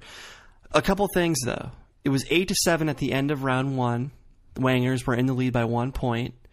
Uh, I like that they are putting the que- the questions on the screen now. That this was directly this is last Friday, so the controversy on last Tuesday where they skipped over the questions with tough beats and etc. That controversy had already played out. That is why they put the questions on the screen with the numbers to avoid that situation from ever happening again. The problem is though, is that the questions block the answers on the whiteboards in some cases. So they either need to tell the competitors to raise their whiteboard to raise their whiteboards higher, or they simply need to take the question down once it's time to show their answers. So either raise the boards higher or take the question off the screen when it is time to show answers. So what do you think they should do in that case? I think that you should and I'm going to talk about Photoshop for a second keep the outline of the graphic, the the graphic that has the score and the names of the opponents. Just uh, make it a blank space, like with the border. You can keep the border, the nice silver border. Oh, wait. Oh, wait. Create the blank space right there, and just and flip back and forth between the score that's being changed and a blank template. That way you can easily write in every question because they're kind of doing that anyway. They just have the black bar and they have to type in every question. You can accomplish that exact same thing right. if you just replace it for the moment over the right. score and just flip back and forth and that would solve every problem and it would look way neater. If they want to keep that bar in the middle though, they take the question down and just show the answer on the screen because the answer is not going to take up as much space. Therefore, we'll still be able to see the boards through the transparent bar. But your way is certainly better. Uh, but if they wanted to take the question down to show the answer, you could still see through the bar itself. Uh, some people are complaining. I mean, it's not an every question thing, but sometimes they do not give the correct answer when someone gets a wrong question. And it frustrates a lot of people because a lot of people at home are playing along. So in the case of Wreck It Ralph's little girlfriend, no one got the question right, but they never gave the answer to us. So for the, for those of us playing at home, we didn't we didn't get the answer. So they, they have to make a point to show the answer every time. So perhaps taking the question down on that transparent bar, putting the answer up there, uh, is the way to accomplish that while still showing people's whiteboards through the transparent bar. That's a lot of words. They also didn't reveal the answer um, the, the the planet where Anakin and Padme shared their right. first kiss. They did right. not reveal that. Um, Right, they they got to be better about that. It's the, for the most part they do, but sometimes they'll overlook it. So it's just frustrating for people playing at home. A lot of people in the comments uh, were upset about that. Uh, before we get to round two, something happened in round one that led to a theory of mine for Macuga and Finstock. oh, really? So Wendy Lee brought out the wheel for this match.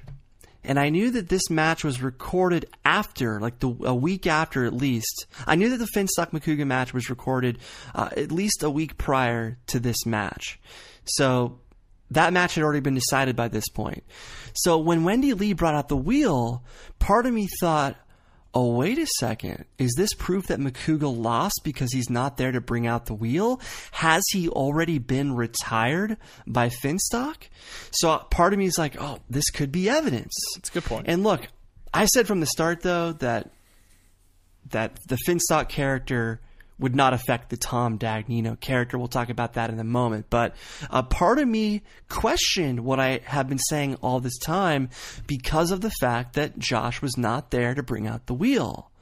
So, had he been retired? That was a valid question that I was asking. Some people were saying, uh, "Is he too busy with the wedding? Does he need a break from singles play?" And notice how they always notice how they always said singles play. He was still going to do team stuff had he lost, but they always uh, you know made a point to say singles play. So maybe he just needed a break to do all the other wedding stuff that he's doing. But yeah, part of me was very concerned it was Macuga who was going to lose based on Wendy Lee. That's a good theory, actually. Very well done. I would have been surprised though if Kristian had actually let that slip and put it out beforehand. I sent it to Kristian just in case I got it right. I sent the theory to him before the Finstock Macuga match aired. So just in case I was right, I could rub it in. But uh, either way, I'm right. So oh, you and Kristian talk? Yeah, we do. Wow. We do. We do. Interesting. So round two, the end of round two, 16 to 15 real rejects. A lot of interesting stuff in round two. For starters, why in the world did the Wangers choose mixed bag when they when the real reject spun opponent's choice? I, th- I think why the logic not? was it didn't work well for six degrees. Isn't that what RB three said? That was the explanation he gave. But are you going to judge one match, or are you going to judge a hundred matches where teams have struggled with release dates? Release dates for a team like Real Rejects would bury them. So that really was hard to reconcile as I was watching and, ad- and after the match too. But I I really question that decision.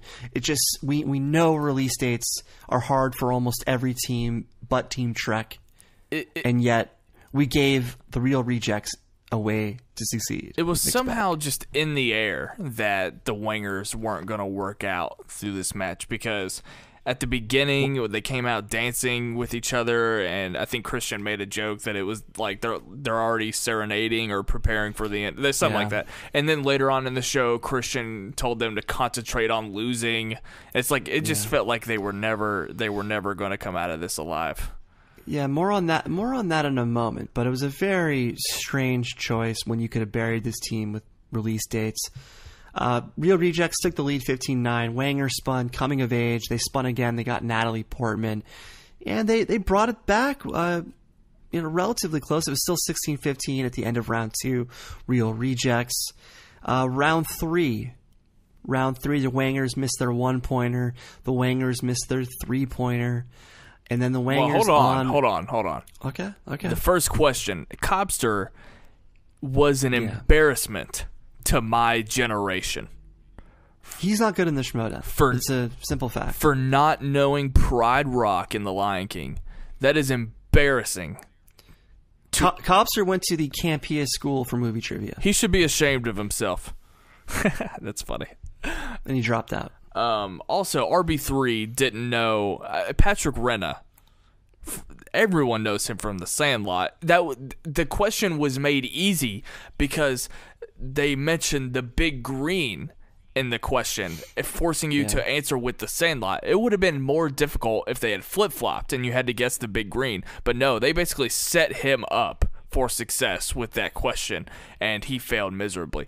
But th- this number five pointer. The Django. I was going to get really, really pissed. And this goes back to the Anya Taylor Joy scenario.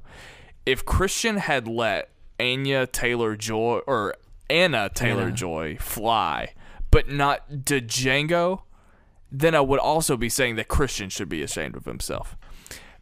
I so w- what's what's worse to you? The fact that RB3 called it Django even though everyone knows that it's not Django or that Kristian actually tried to refute their deserved point, which is which is actually worse between the two. I would have given it to RB3. I would not have challenged RB3's mispronunciation because he knew the movie Django. It's a fair mistake. He's got the title in mind. Uh, I, I, I don't know. It's it's embarrassing either way, but Kristian should not have challenged it. I just, I just, I cringed. I'm sorry. I fucking love all of these people that we're talking about, but I know. So do I. I just I had to cringe. I'm sorry. It was it's only because finally in the Schmoedown I had some representation with my generation. It wasn't about Beverly Hills Cop this time. Um, so I w- my heart was was in it. But anyway, and I, it was also because I was rooting for them in general. They they were the team that I wanted to win. Uh, going into the match, and I, I'm so upset that they uh, they eventually uh, pooed it out at the end. So um, I think what helped what, what helped is that Cobster said Django Unchained at the same time that RB3 said Django Unchained. So regardless, that should not have cost Yeah. them the point. No, it, yeah, absolutely right. Um. Okay. What about what about their final question, the real rejects, or their their own, or the second question? Right? Was it the I, second? I can't believe they miss Old Yeller. That's kind of one of those things that's ingrained in, in everybody, uh, just because the, the ending is so famous. I'm it's with you. taught in a lot of schools. It's, it's shown in a lot of schools. But yeah, it, it came down to the last question, Real Rejects five pointer. And the question was we've never seen one of these question formats before, but it was simply name one of the seven films nominated against Spotlight in the 2016 Academy Awards, which was 11 months ago. So all you had to do was name one of the seven films that we just saw about 11 months ago through the Academy Awards. We uh, we saw a bunch of those movies. So this this is the exact opposite of the multiple answer questions. This is the other extreme of multiple answer questions where it's it's just as bad, maybe worse because you have to give one answer still, but it is so incredibly easy. I would have done this question where I would name five of the seven, and you have to name one of the remaining two that is not listed. The fact that you had to name one out of seven is just a ridiculous question format. It's just a ridiculously structured, formatted question. The, uh, please tell me you agree. I got sick to my stomach as well. I don't know what I hate more: the fact that it was so easy, or the fact that there were seven options to this. Like the only way you could have made it easier if you if the question was, "So real rejects, name a movie." I know. It, again, I, I, I would have been okay if they had named five of the movies and you have to name one out of the remaining two. That's still kind of easy, but it's also somewhat challenging. But it makes me feel for people like Clarke Wolfe, who named four out of five Guardians of the Galaxy. she gave four answers. And yet she still lost that question. And yet they had to name simply one out of seven films. Every That is bogus. Every week this is the exact opposite of multiple answer questions. every week we force Skaliski to explain himself in the comments, and uh, so I'm looking forward to see what he has to say about this. Um, there, there's no defense for this. It's an awful format. It's an awful question.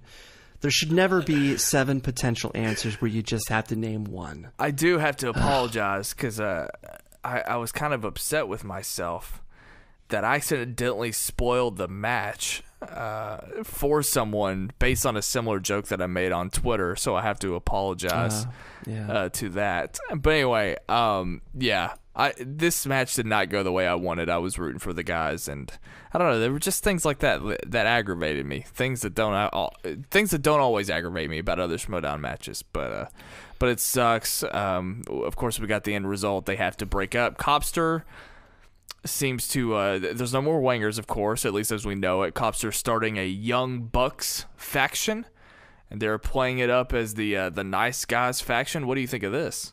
No, the young guys, because all the other guys are older, forty something.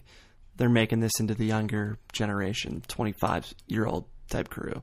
RB 3 is young, of course, but they're playing up that they're significant 15 years younger than, than most yeah, of their they, opponents. But they also opponents, literally said they wanted it to be the nice guy group. Well, they're, they they are a good guy group. They are a baby face group, but mainly it's comprised of younger guys compared to the rest of the Schmoedown. Regardless, Cobster did not want to compete anymore, and that was blatantly obvious by the fact that uh, he wasn't upset about the loss. He was already uh, ready to unveil his new stable. What what topic on just, the board it, do you want? it, it it just exactly. It just so happens to be with the team that just broke up your team. So look, I'm not this. I'm never gonna say a Schmoedown match was fixed, but I did not like how convenient all this fell into place. Again, Cobster, he's not good at the Schmoedown. I realize, uh, I, everyone realizes that, but I, I just don't like the fact that he made this so immediate and that real rejects were just standing off to the side, ready to join up with the team well, they just beat. Well, who knows how much That- time is actually in between those two clips? To be fair, Even so, the fact that it happened within the same hour, within the same 10 minutes, tells me that it was already arranged that, oh, if we lose, let's join a stable. If you win, let's join a stable. Either way, who, regardless of who won, again, I'm I'm not saying that the, the outcome was fixed. I'll never say that. But it was one of those things where if you win, well, let's start a stable. If if you win, let's start a stable. So the outcome post match was destined no matter what, regardless of who won. Uh, but I just did not like that. Uh, they, I did not like that they did this because it took away the stakes of what this match was supposed to be. It was supposed to be two teams potentially, or one team potentially splitting up, and instead, uh, it became two teams uniting in the end, and it just it was too convenient. And Cobster, of course, did not want to compete anymore.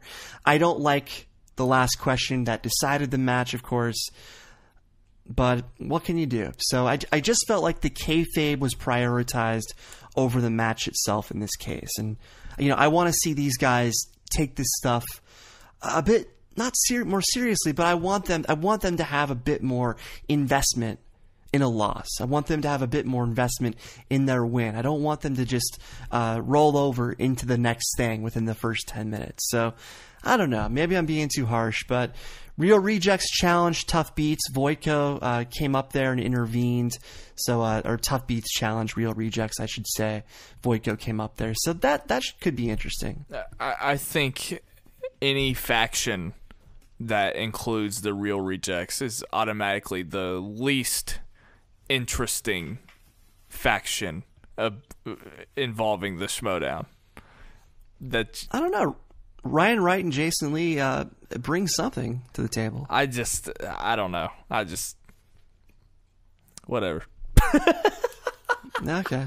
I don't, don't you have a problem with this though that everything instead of Yeah. these stakes of a team being split up, it was really these teams just coming together in the end. it's it's one of those things where like uh, depending on the day I'll praise the kayfabe or the, the, the production around the Schmoedown, and then the very next, just because I won't like something, I'll say, ah, that's the worst part of the Schmoedown. it's just like it just depends. It's so sporadic, but uh, But I don't think I don't think this was decided after the win. I, I feel like they talked before the show, and, and they said regardless of the outcome, let's just start a stable. I don't think after the the match itself, Cobster went up to them and said, "Hey, uh, I now want to start a stable. Will you guys join?" Yeah. It was all so neat that I think it was all predestined regardless of who won. So all we know is Cobster did not want to compete anymore, and that was evident by the fact that he wanted to manage. So I don't think he cared about the outcome, to be honest, because he knew he was going to manage. So Right.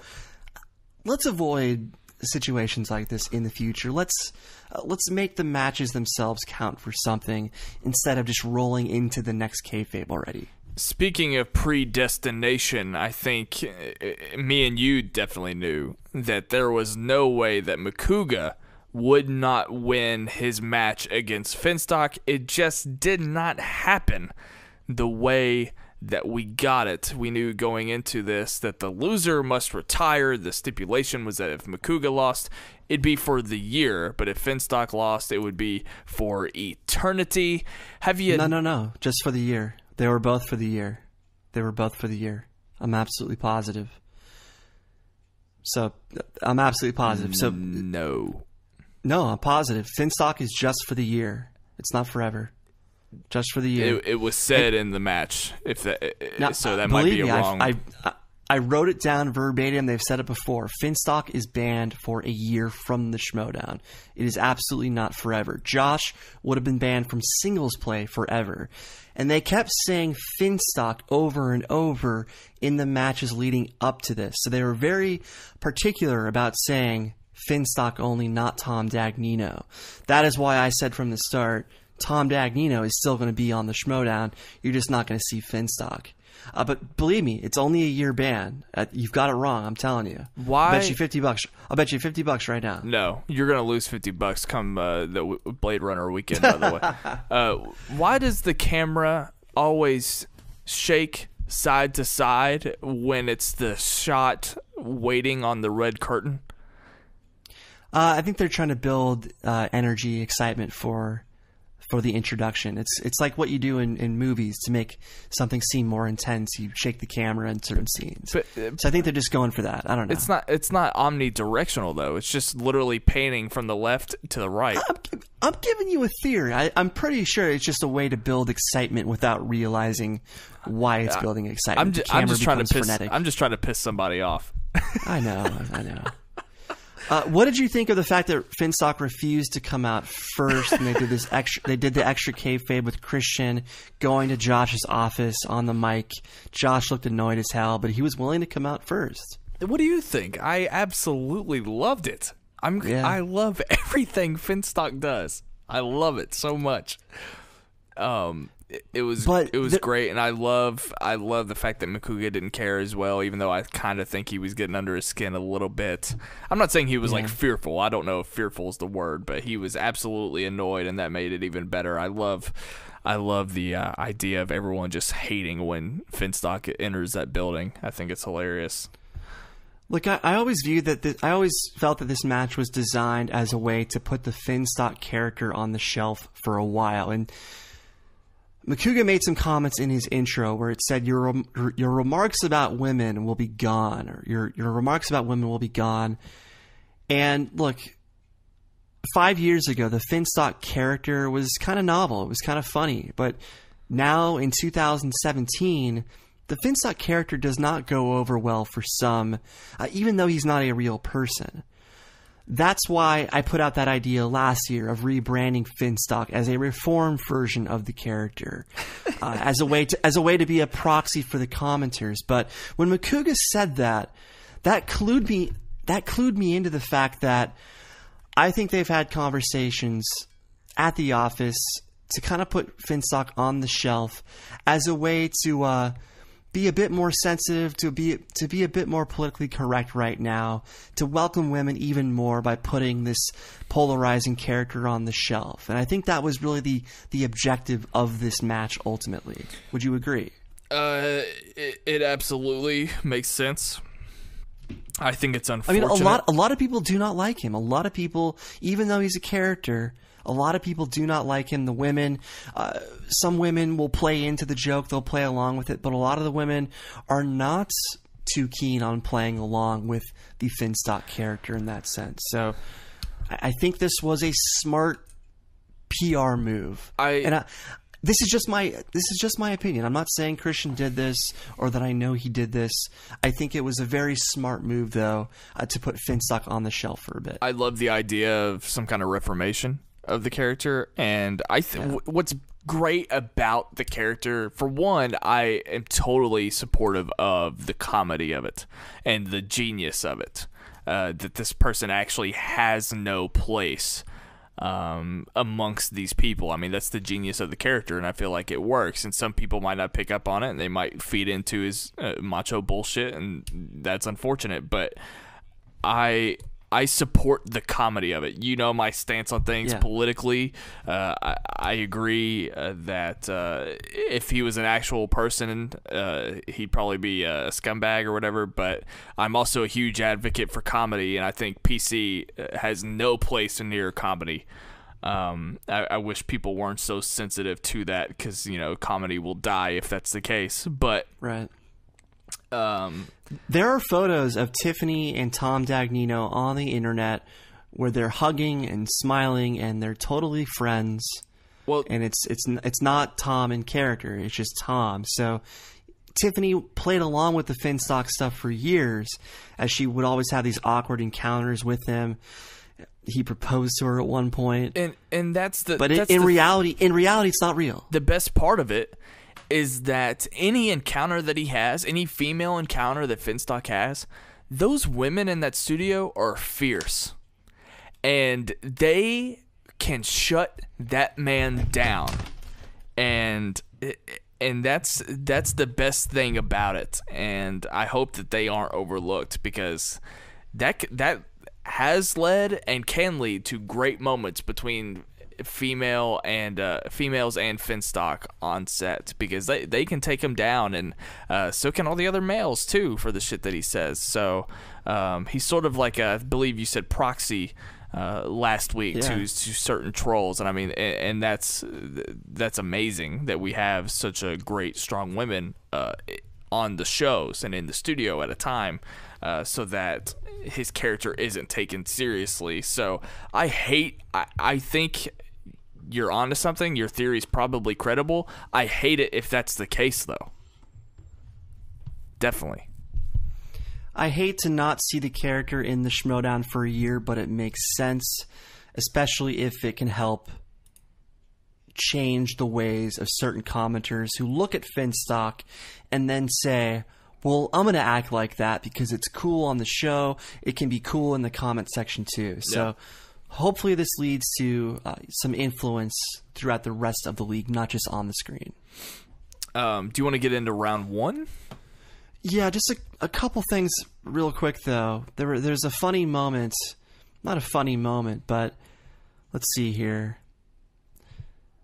Yeah, Macuga's overconfidence and the texting kind of scared me for a bit. Like there was something that was going to happen because he was being a bit too overconfident. But uh, again, Harloff and Campea called it. But Kristian said something. This is something we've never done before a stipulation match. However, they had just done one on Tuesday. So that's how you know that this was filmed Yeah. before the Wangers and, and uh, Real Rejects match. And uh, again, I, wrote the, I wrote it down. Stipulations are singles play for Josh, while Finstock is banned for a year. And yeah, let's get into uh, round one. Oh wait, we didn't even talk about it. Andraco came out dressed as oh, Finstock. Oh so yeah, that happened. that that's the biggest thing here because Finstock can be anyone basically. It's a character and the the whole thing about Finstock is no one is supposed to know who Finstock really is. Yeah, we know it's Tom, but technically speaking, he's supposed to be everywhere, like he later said. And there's a reason on the title card from last week that they put all question marks for his name. Uh, because they, they didn't want to associate him with anyone because they knew this was coming with Andraco, I think. So um, it- they totally built up to it in the right way to set up the Andraco bit. But Josh, I mean, Josh didn't protest it, and I was surprised. Part of me felt like, man, is Josh going to lose? Like the fact that he doesn't want to protest this makes me think that maybe Josh does want to be retired. Maybe he does Right. need a break for the wedding stuff. Am I right about Wendy bringing out the wheel on Tuesday? Is Josh already retired? But uh, his goal, though, was still the same to eliminate Finstock, whether it's Tom's Finstock or Andraco's Finstock. And so the mission was achieved either which way. So Right. finally, round one. Um, for one, Macuga never ever roll tide. I take great offense to that.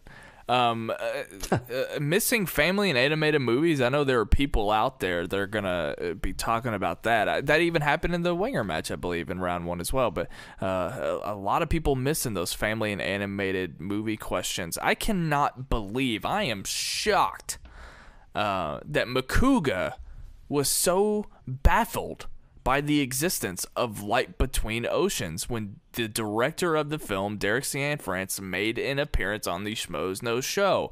And if he was not on that episode, I did not do the research wa- because that's my thing.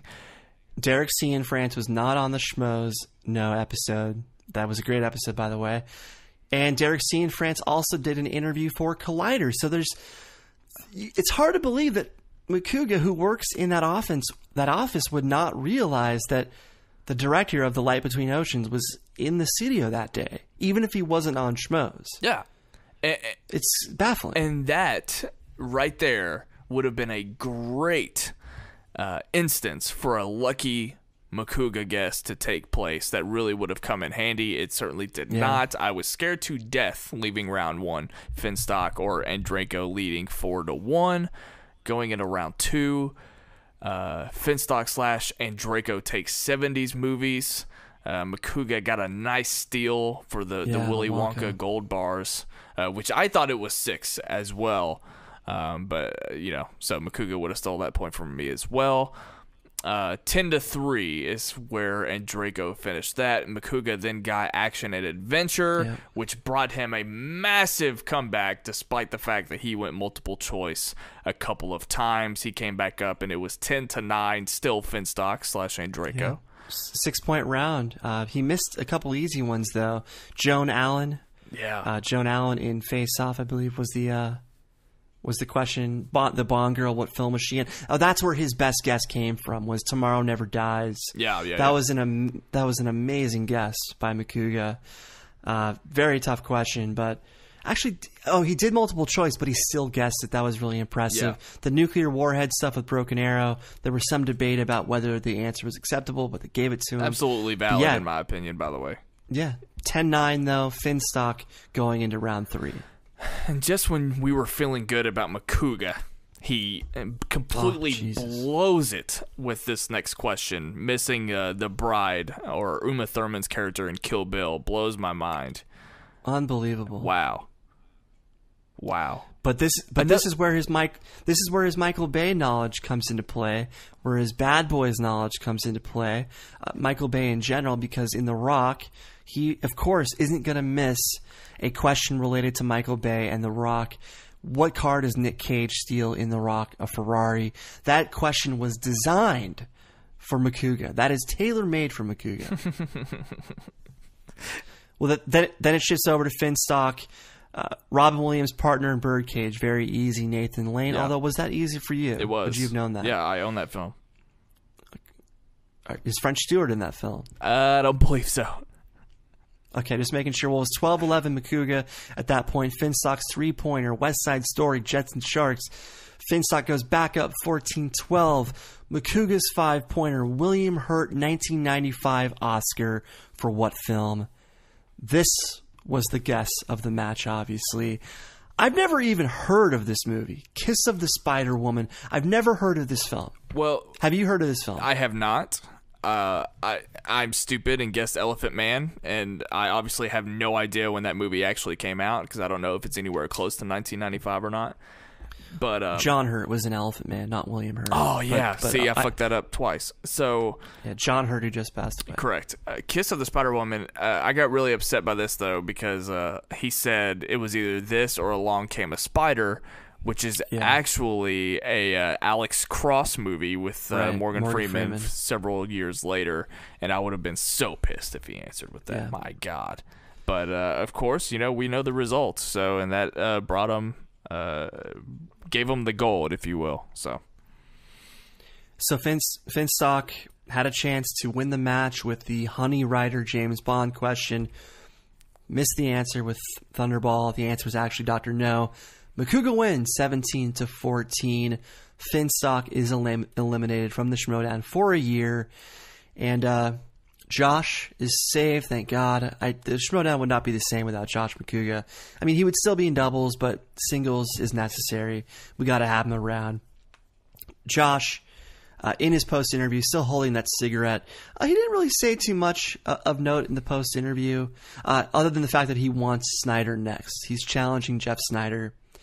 Uh, everybody wanted to see what Finstock had to say or what Tom Dagnino had to say, and right and right away, he was confirming what we speculated all along, or what I speculated all along, was that he was going to resume Schmoedown as Tom Dagnino, and uh, that's exactly what happened. He, he, said he was growing a real beard to serve as his mask, uh, since he can't wear the mask anymore, and and he and he said yeah, he's Tom Dagnino, whom a lot more people like, and then Jen Sturger chimes in, that's debatable.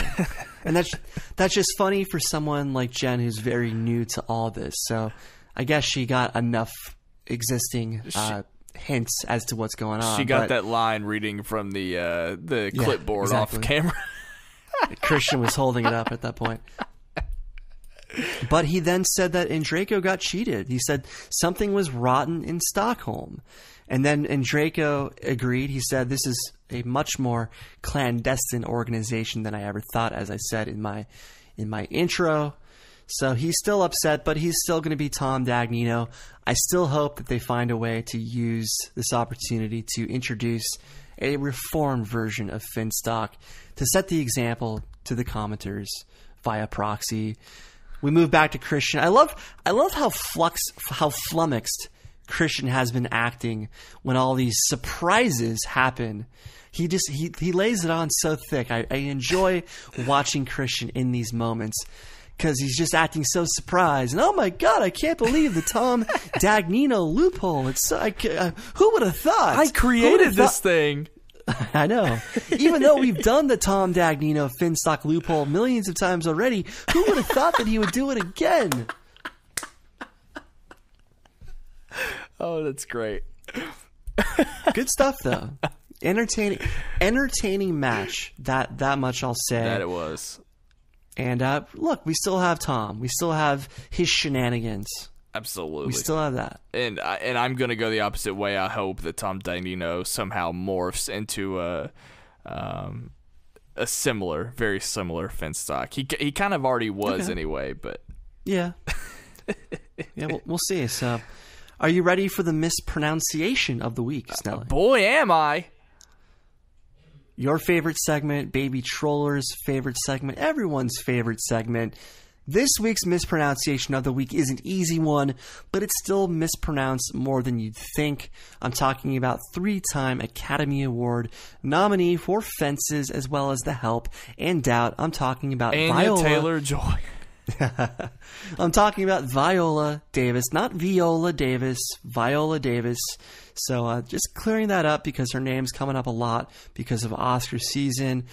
Also, from the Schmoes review for Gold, Ellis referred to to its writer director as Stephen Goggin when it's actually Gaghan. Stephen Gaghan. Yeah. Gaghan Gaghan wrote, directed Syriana as well as the screenplay for Traffic. He's kind of a big deal.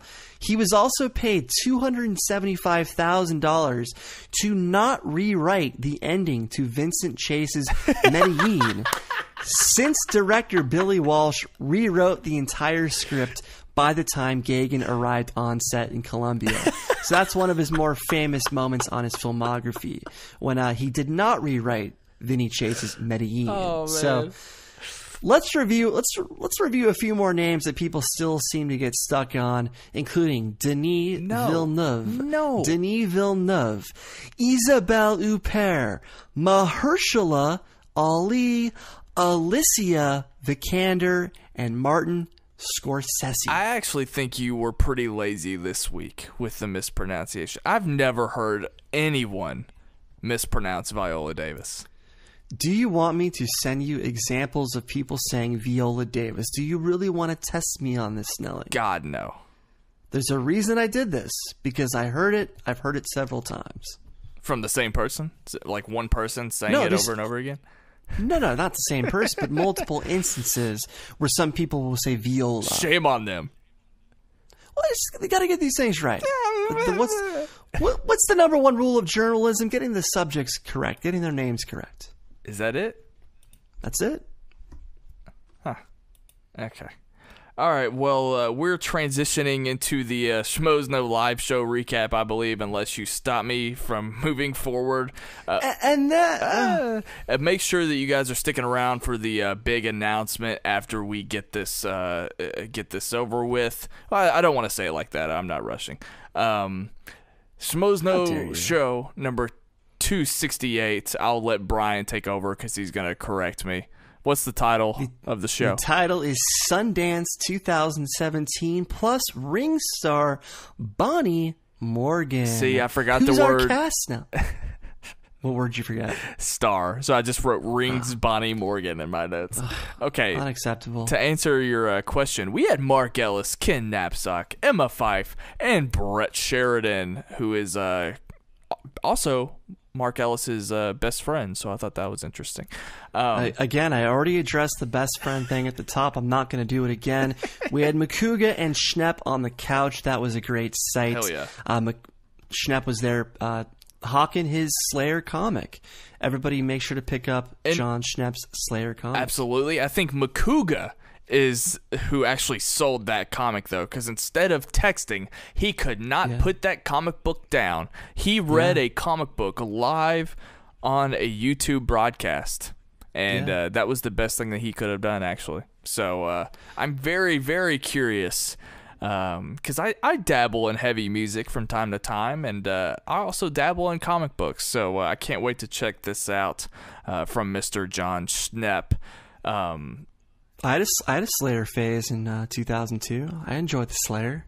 15 years ago that's nuts um, Yeah, in co- in college, I had a very very big heavy music phase. I got into everything. I was already into it a little bit, but I really dove into it then. if we're briefly well i don't know if it's briefly it doesn't have to be but if we're since we kind of already jumped to the snap on the couch did you realize how he kind of tripped over himself when referring to the show's title he said he said he was donating it to the Schmoedown and then didn't accurately say Schmoes Know show yet again. So i don't think he knows where he's at he he hesitated for a bit, and I've noticed this before because he addressed our show once when uh, Robert Meyer Burnett called us out on Heroes. Yeah. he referred to us as like the Schmoedown something or other.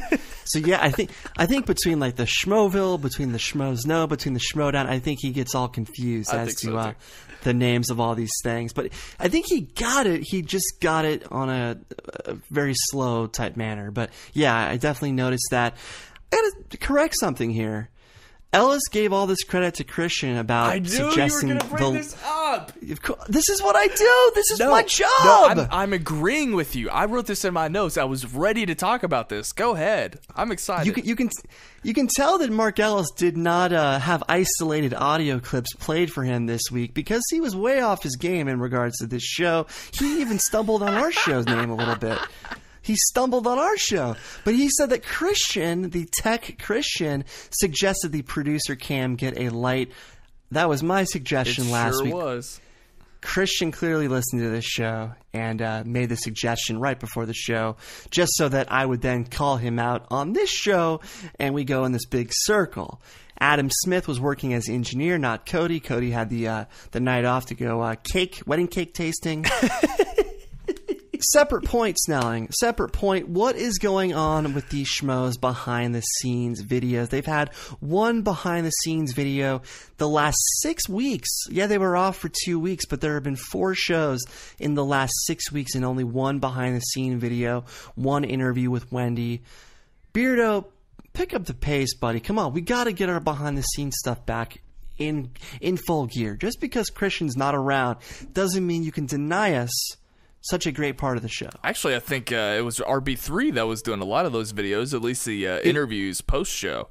But It used to be RB3, but Beardo is now tasked with that responsibility this year. Beardo should also be taking those. Uh, I think it was like his first official show behind the scenes. I think he was taking. Uh, I don't remember what show it was. He took some great. It was, it was the first one out of the out of the break. Okay. it was the first one out of the break. It was called Beardo's Behind the Scenes. So Uh, it's no, I'm his talking about the, responsibility the now. pictures that for on that were posted to the Schmoes Know Facebook page. He took like these great quality, professional Oh. looking uh, pictures that I thought were uh, fantastic looking. r- regardless, he is in charge of the behind the scenes videos now, but he's lagging a great deal. So RB3, maybe RB3 has to get back on board with these. All I know is we've had two videos in six weeks for four shows, unacceptable. And I, I, I want to credit Schnepp. His Blade Runner shirt was super awesome. I gotta have it. I gotta find it somewhere. It was already my Twitter art, coincidentally, but I just want to commend him for that shirt. Schnepp is not the same while wearing headphones because they mat his hair down. Yeah, And I yeah. I need my Jon Schnepp to look as close to a mad scientist as possible. And uh, the headphones didn't work for me on Mr. Jon Schnepp. Everybody else is fine, but I don't know, kind of threw me off a little bit. I had to, I had to make a note of that as well. And while we're talking about the behind the scenes people too, friend of the show, Cody Hall. Listen, Brian, I don't know if you know this, but I have a lot of things in common with uh, these people over there at Collider and Schmoes Know. Th- this sounds awfully familiar. I, I found out that Cody Hall is a big fan of Dan Le Batard. huh. So So there, there are two people now. Yes, there are two people. yes, very good. Um, it, it, it's he says that it saves his life in the California traffic or LA traffic, if you will. Uh, it's a lifesaver for him. So uh, I, I always knew that I had a lot in common with the people over there, but me and Cody just found a, a, new thing for us to share together. So uh, can't wait to talk to somebody else finally about Dan Le Batard. Uh, despite Brett's egregious mistake in saying I was wrong to refer to Ellis and Brett as best friends, even though I was simply quoting Mark Ellis from Schmoes Show number 265, uh, Brett did have a great quote where he referred to Kristian uh, in the sense that he left one show I was part of after not seeing me in years. So, so Brett comes on the show for, for phase six. Yeah. Kristian leaves right after. So I, I love that. I didn't read the quote properly, but Brett made a great moment about the fact that Kristian left as soon as he joined the show to re, to kind of to reunite with his good friend over to reunite with his best friend over all these years. So uh, funny moment there. And Ellis, he asks Emma what she's been up to, and she says exploring the galaxy. And Mark, one of the funniest moments in a while, Mark instantly says drugs. Instantly, the the timing of it was perfect. drugs. That is not the then- best. Uh, that is not the best joke involving Star Wars in this episode, my friend. I'm I'm not saying it's the best joke, but the best timing that he's had in a long time because he did not even it, it was not even a thought. It just came out. and it was it was timed so perfectly. And then she goes into this long-winded explanation of a role-playing Star Wars game, something or other. She's Obi-Wan Kenobi. I, I don't know. She sold a tie to Alexander Payne. I'm not I'm not quite sure what she was doing. So yeah, Emma Fyffe is back on the show. I I, I hate to say it. I, I just I, I want to connect with Emma, actually, there's a moment later in the episode where I did feel bad for her, but You felt bad for I, her. I felt bad for her later in the episode. We'll get to it later, but I still cannot connect with her. I I haven't had that eureka moment where it's like, oh, okay, like I, I'm, re- I'm I just haven't had that moment yet with her. Yeah, I'm with you. I've had I've had it with Miss Movies. I've had it with uh, even Perri. I mean, even Perri on the. Sh- I've had moments with Perri uh, on other shows, but I've had moments with her on Schmoes. No, but I haven't had that moment of connection with Emma yet, and it's frustrating because I wanna I wanna like her, but so far, I mean, I I like her. Don't get me wrong, but I, I just I'm not invested as a fan. You could say. Do you think that she got enough time on the show? Uh, they they went out of their way to give her a bit more time than usual. I could tell they were trying not to forget about her like they usually do. Uh, she talked more than she's ever talked in previous episodes, so there's that. I just don't know if there was anything to take away from what she said, but there was a moment later in the episode that I did feel bad for her. So the fact that I feel empathy for her is a step in the right direction, I would say. Are, are you not going to talk about it now, or are you saving this for something? Well, I want to get get to it in order because it, it feeds into some other things. But uh, what did you think of Brett's Brett to the Future Hunt for the Wilder People? I was very surprised. I'll I'll answer for you. I was very surprised that Schnepp and Brett did not like the film. I suppose you haven't seen the film. I I actually skipped uh, this week's Brett to the Future because I was uh, scared to death of spoilers. Uh, because Brett can be a little bit loose, but also Yeah. Schnepp. And Oh, yeah. was there, and he is awful about giving away spoilers. So uh, I actually refrained from watching this segment. The best part about Schnepp on the Schmoes Know show is that he doesn't Give a uh, have the filter. He does not care. He will. Campea has said for many years that Schnepp has the dirtiest mouth of anyone on the crew, and that kind of came out on the Schmoes Know show. So I like seeing that side of him where he just doesn't care. And I think a lot of that came out in this uh, Wilder People review. It was almost a Schnepp's review for a lot of it, but Ellis, like he did when Brett's mom was on the show, he keeps giving Brett a hard time about how he needs somebody else to do the reviews with him and that he flourishes when there's someone else to flank him. And he said that his mom should come on every week and do reviews with him because she makes his reviews better. And so he was kind of doing the same thing with Brett and Schnepp as Schnepp was making Brett's review uh, even more memorable. But uh, I was very surprised that uh, there, there wasn't more love for that film. I didn't love it. I didn't certainly dislike it to that degree either. But uh, Schnepp plugged Nightmares. He plugged the show. He he kind of mentioned very quickly that it needs help. It needs help in the in the worst way. And this was interesting because Actually, I won't say it. So Schnepp plugged Nightmares. So leave it at that. Very glad to see that. So not he didn't just plug the the comic book, the Slayer comic. He helped out Nightmares in the process. And uh, Cobster pre-break, he had all this Game of Thrones stuff. I'm sure you bought a stuffed direwolf for yourself for, for Valentine's Day. I'm not gonna lie. I went to the HBO shop as he was talking to look at all the things that were there because I'm considering getting something. Absolutely. Well, Bonnie Morgan, star of Rings, she plays Samara, Samara Morgan. The last name of the character is the same last name, strangely enough. And uh, this is one of the most memorable studio guests that has ever taken place on the Schmoes Know show. You've got so many great interviews over the years. Rowdy Roddy Piper. Oh God, I'm bl- I'm blanking at the worst possible time. I- even even the awkward interviews with Oliver Stone's kid was was memorable in a in a weird sense. But this this really stands out because obviously she's a contortionist. She uh, grew up in a castle. I they didn't say that in the show, but she grew up in a castle in Hollywood Hill. She comes from a circus family. Her her aunts and uncles and parents and grandparents were all in circuses and stunts and uh, typical Hollywood family. And it, there was a great there was a great moment though where she referenced her father Gary Morgan and nobody knew who Gary Morgan was, but she she spoke about him in a way that everybody should know Yeah. who he is. And I love that kind of pin drop moment where uh, everybody's like trying to be polite and stuff and yet nobody knew what she was talking about. I actually do recognize him. Uh, if you pull him up on IMDb, he Oh, I, I didn't see that. yeah. I, I However, I recog- I recognized her from Sarah Connor Chronicles. She played a, a Terminator who gets all bent up on Sarah Connor Chronicles. oh did she? I she looked. She, oh, she plays the. Um, She was Jabba the Butt in Men in Black 2. She played an alien in that. she was the woman in the yoga studio in Minority Report when John Anderton Yes. crashes through the window and sh Yeah. yeah, yeah. Contortionist is her uh, character name in Minority Report. Yeah. Playing up. she she plays what she knows, but she was sitting in the middle of the table when they started her interview. And there was a weird quote from Emma about Mark being vain because he kept telling Mark kept telling her to kind of go sit in her chair, but then Emma chimed in that Mark was being vain and that he wanted to see himself on camera. So uh, it was a very bizarre comment. I'm not trying to pick on Emma. It was just I, I didn't know what she was going for.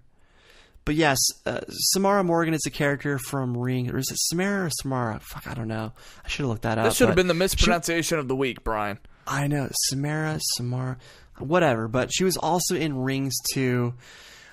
I have to tell my Rings story. It's it, there's I have to just tell you because I'll never have another chance to do this. Tell me all you want. I'm just gonna edit it out. Come on, this is good for every. This is fitting for everybody. Sophomore year in college, I go on a date with one of the uh, proudest accomplishments of my dating resume. It was our first date.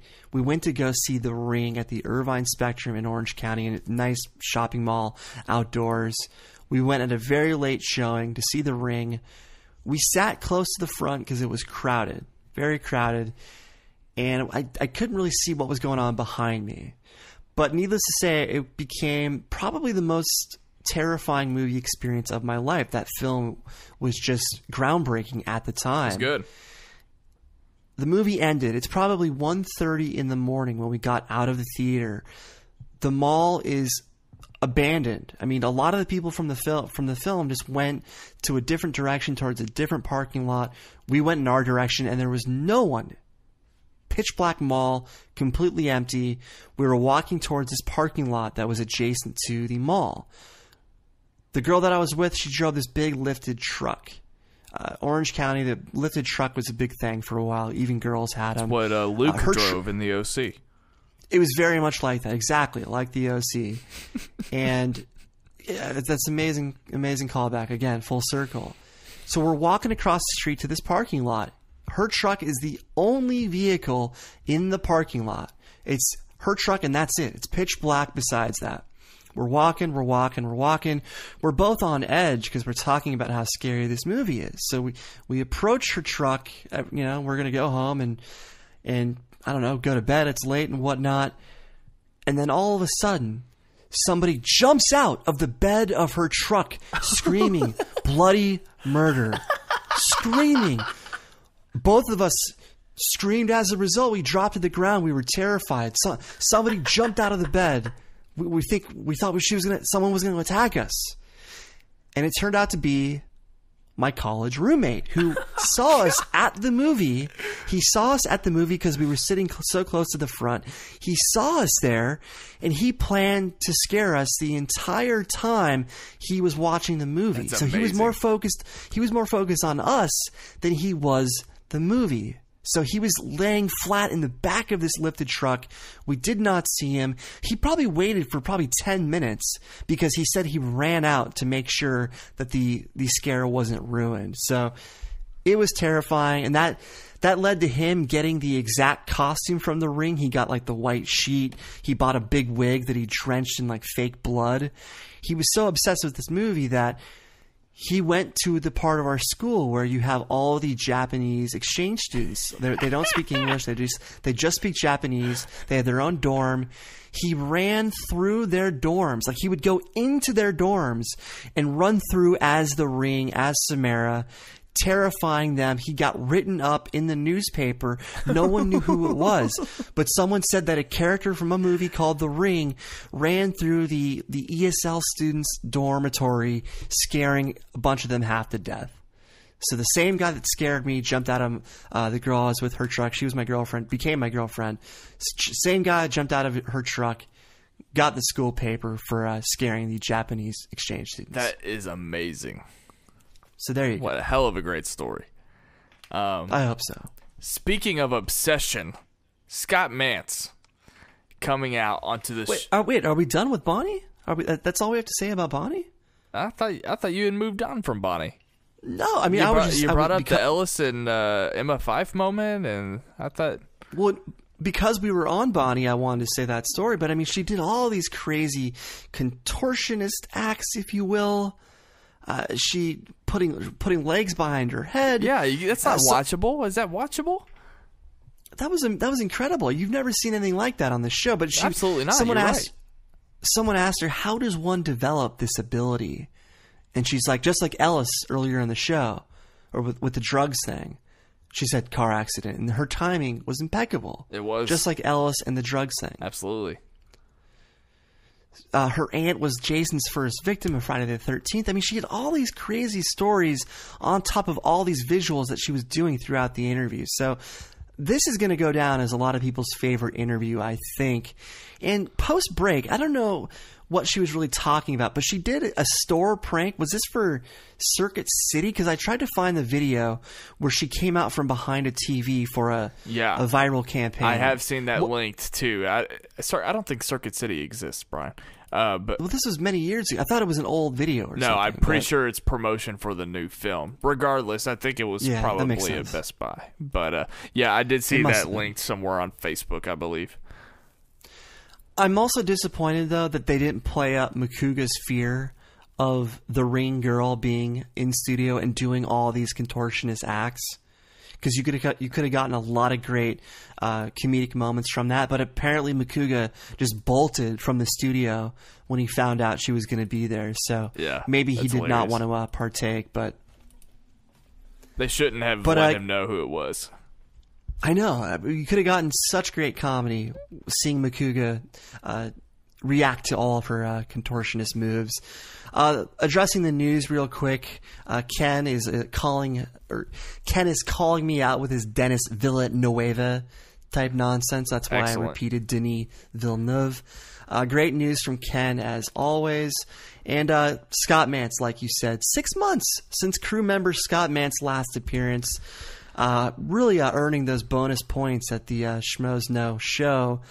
But again, I love the fact that he- the La La Land stuff came up again, and everyone's talking about how he's driving the fucking bandwagon and he has no problem with it. They wrapped in some Beatles jokes, Norwegian Wood with that. Tell me about Scott Mantz's appearance. How was it for you? I always I- like Scott. I think back to the days where I thought that we were going to get him almost weekly when Kristian came on to the Schmoeville after show and promised a, a segment dedicated to Mantz, and we have yet to get it. Like you said, it's been six months since he's been on the show. He came out giving high fives to everyone. I was so so pleased to see him, and uh, th- th- this combined two of my favorite things: hearing about Sundance, hearing about the films that I should be excited for uh, later on this year, and Scott Mantz's passion for these things. I mean, I am just a victim of of. Uh, th- someone who is just overjoyed by his passion and his joy of things. And uh god that man he uh more people need to be like him. He I, I can't believe that he knew the exact date and time. Maybe i can believe it. The exact date time and location that he saw la la land for the first time I love La La Land. It's in my top five of the year. I think Mantz is absolutely overplaying. Uh, if anybody is overhyping the film, it's him. There's no way in hell that I would be able to watch pretty much any movie 10 times in theaters. That man is out of his mind. But, uh, he can relate to it. He said he's had a similar situation in his life, and I get that. When you relate to a film uh, to that degree, it's it's going to be a favorite for you. So um, I've had a similar thing in my life too, so that I, I I can understand exactly what's going on in those characters' minds. So I get I get why he loves it for that reason. I'm just a small town boy from Kentucky, and the the only thing I can relate to is uh, Out of the Furnace and Trailer Park Boys. I love Out of the Furnace, by the way.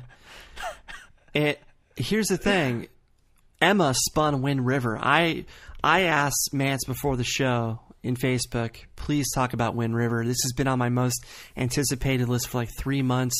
It's Taylor Sheridan's third film in the new American Frontier trilogy, as he's calling it, along with Sicario, along with Hell or High Water. Uh, he said it's great. Uh, it, most people say it's not as good as the other two, but it's still a great film nonetheless. And uh, of course, Emma did not guess the film correctly. She thought it was a fake Seinfeld film. I love that wheel bit, by the way. Seven fake Seinfeld films, seven real films at Sundance. How do you think I felt? Um, I mean, God, I loved it. I know. And uh, It was, it was great. Great idea. was Macuga? Macuga was in the building at that point, right? He Yes, came back. he was back in. I was gonna say He was back in. Macuga and uh, Oh, Macuga and Mantz were, were bouncing off each other so well during this segment. as you know, I have a lot in common with people over there in the studio. Me and Macuga are huge fans of Seinfeld. Jesus Christ. So yeah, I love this game absolutely, and I I laughed at every mention because I know all of these fake movies and Seinfeld. Uh, I hope most people were able to uh, to have fun with that as well. Because uh, but yeah, this segment felt like it was absolutely for me. Um, had a lot of fun with it. I love the Sun Man stuff. I love the play on words. I love that Brett is insecure over the full body couch shot because he had to sit on the couch for the I guess the first time. It's a that's a, an everyman problem. I think. I think everyone Yeah. sitting there would have that issue. but everything changes when you see their full because because we're so used to seeing these people from the waist up.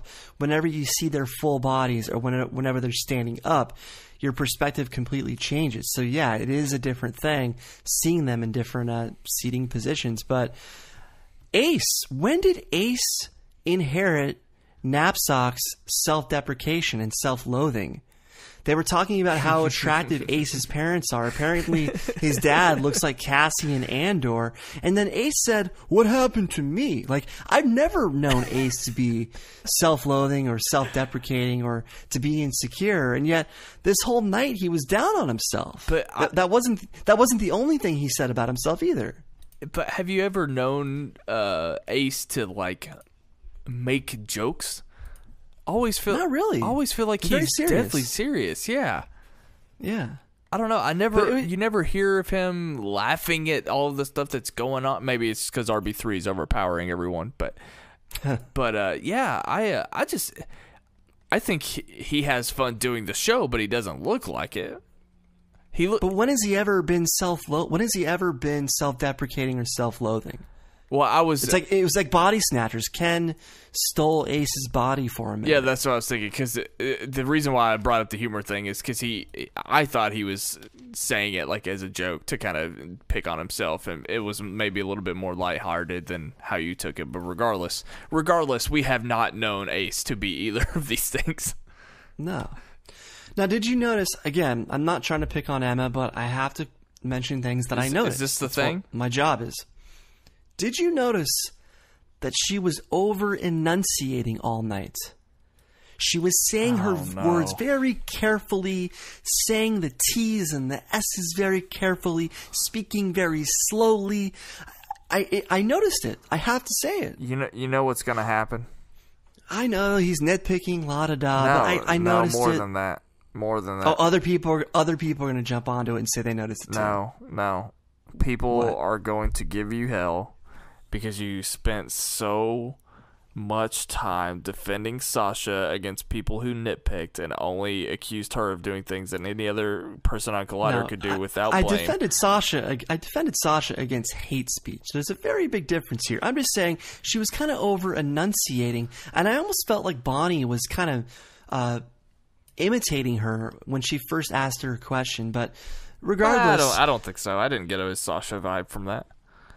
No, no, no. I almost felt like Bonnie was imitating Emma and the fact that she was Oh. over enunciating. When Emma first asked Bonnie a question, I almost felt like Bonnie was aping her a little bit in the, in her response. Bonnie, Go back and watch that. Bonnie moment. was the red letter media to Emma Fyffe's Collider Jedi Council. Look, I, I understand if she wants to, to be clear and to speak carefully. There's nothing wrong with that. It's just something I noticed, and I have to say it. But uh, she made the point that has driven me crazy about criticism of La La Land. Is this how, the thing? Oh, I wanted them to be professional singers and dancers when the entire point of the film is to have two regular people in love who just want to start singing like it's an everyday thing. It's not supposed to be a polished musical production that you would see on Broadway. It's just supposed to be a thing. So I cannot stand that criticism of La La Land. And of course, Emma offered that criticism. Also, I'm a musician like you, and I don't need a flawless voice from Ryan Gosling because he got the point across with his overall performance. Hey, I screamed in my music, so I, I am very happy with people who like to croon a little bit and have uh, certain inflections that might not be perfect. I'm perfectly fine with that because that's that's what happens to me when I try to sing, uh, as some of you might might know or might not know. Look, it's better. It's better than Miles Teller. Just remember that. You could you could have Miles Teller instead of Ryan Gosling since he had the role first. Um, what happened next? Did we did we get Finstock next? Is is that what happened? we had Finstock versus Macuga promo for the rest of the episode. Finstock came out, Cleveland Browns Bernie Kosar sweatshirt, just a random uh, night overall. So much weird stuff happened, but the Browns are sort of rivals with the Steelers. Historically, they are. Browns haven't been good in a long time, uh, but. Did you notice the "Stop It, You Idiot" Kristian sound drop? Yes, I did. I did. Yeah, and it went unnoticed too. Like no one acknowledged it. Finstock looked around because he heard it. He looked around, but then he realized Kristian wasn't there. So that was the only acknowledgement that I saw. Where's uh, Harloff listening to the Star Wars soundtrack backwards, looking for secrets? I know, like classic line. You got to give him that. You got to give him that. that was the best joke uh, involving Star Wars for me. My God. Oh, that that was great. That was absolutely great. But Finstock kept trying to contort himself like Bonnie Morgan. but I think what he really wanted to do was show off his sneakers to everyone. He's big on his sneakers. His Yeezys. I think he just wanted exactly. I think he just wanted an excuse to show off his sneakers. Probably. That man and then loves and then the part he does. He's always talking about them, uh, much to RB3's advantage. And this is when I felt bad for Emma though, because she questioned Macuga's luck. And look, she was being a good promoter. I mean, you, when you promote a match, you want to build it up. You want to support both sides so that people want to tune in. You want people to think it's going to be uh, an even match. So she was uh, giving both opponents kind of equal play. But Macuga was not happy about that because she is his sometimes TV talk co host. And he felt like she should be in his corner because she is a sometimes TV talk co host. And he then uh, went off saying, I listen to your anime conversations. I listen to your Voltron stuff. From now on, we're only talking Vikings. And then she said, It's okay. I like Vikings. And then Josh says, Damn it. So Josh is on the ropes, just like Roxy had him on the ropes on TV Talk last week. And this is when the big moment happened. He said, I was going to start my own fan club called the Fifedom, all about Emma Fyffe, and now I couldn't care less. So this was yet another Costanza moment from Josh, something that we've seen before with JTE recently, as well as other people, where he goes for the jugular whenever he's been burned more than he expected. He can do that on the Schmoes Know Show. Obviously, he wasn't he wasn't going to burn Roxy on TV Talk, but whenever he's on the ropes like this, he goes for the "I had sex with your wife" like George Costanza. So I felt so bad. I felt so bad for Emma in this moment. Even some people on the panel were like, "Oh, Josh, why'd you do that?" Yeah, th- that's that sucks. That really does I mean, suck. come that on. did make me feel bad. That that was harsh, wasn't it? I, I I didn't think of it the same way you did, but now that you bring it up in that way, yeah, it does kind of suck. And yeah, now I just had flashbacks to the JTE moment. Yeah, it was just um, like that because the whole the whole room kind of forced- like, oh, He forced JTE to go on a diet and start working out. Macuga know obviously has that. incredible influence over these people. yeah. I don't know if we've mentioned that because of Josh's comment. JTE, he's looking good these days. He's getting in the gym. He's he's making an effort. So. I, I hate that it came under such circumstances where Josh would have to call him fat to 100,000 people, but uh, yeah, I, I felt bad for Emma in that moment. So at, least I know I'm empathetic towards her. There you go. You're, you're not completely soulless. And uh, there was a nice callback to box office breakdown. They mentioned Sarah Stretton. Uh, Finstock had to make a comment about that. And uh, I, love that Finstock said, now that Harloff's here, I'm able to talk, when he actually meant, now that Harloff is not here, I'm able to talk. Because he did get to talk more than he usually gets to talk. Uh, Kristian's typically interrupting him to, to kind of maintain or limit the damage of what he's about to say. So, uh, nice flood from Finstock either way. Uh, good stuff when, it, when he does his usual. Is it true or not? You know, 15 years of sermons, sermons of the month involving Mel Gibson. So, a great appearance from Finstock either which way. So Absolutely. that's that's Schmoes Know Show number 268. It was, and it was a good one. I think that uh, especially people like Cobster and everyone that's working hard uh, to to produce a great show every week, to change it up every week and give it that old school flavor, it is working out tremendously, and it's it's absolutely uh, paying off. I'm, I've been having a lot of fun since uh, 2017 began, and since uh, they came back from break. So uh, keep up the good work, guys, and. Again, what is that? Week three without Kristian, and it's just it's running and just chugging along, right? Yeah, the last two have been excellent shows. So props So- to everybody. Once again, Yeah. Kristian who left? Kristian who left? Kristian who left? That's right. Darth uh, who left minor. Kristian who left? There you go. Okay, Kristian who left? is that the show? Big announcement time. Big announcement time. Yeah, you ready for this? Spe- since you said you since you said you've had so much fun in 2017, it's time for your big announcement.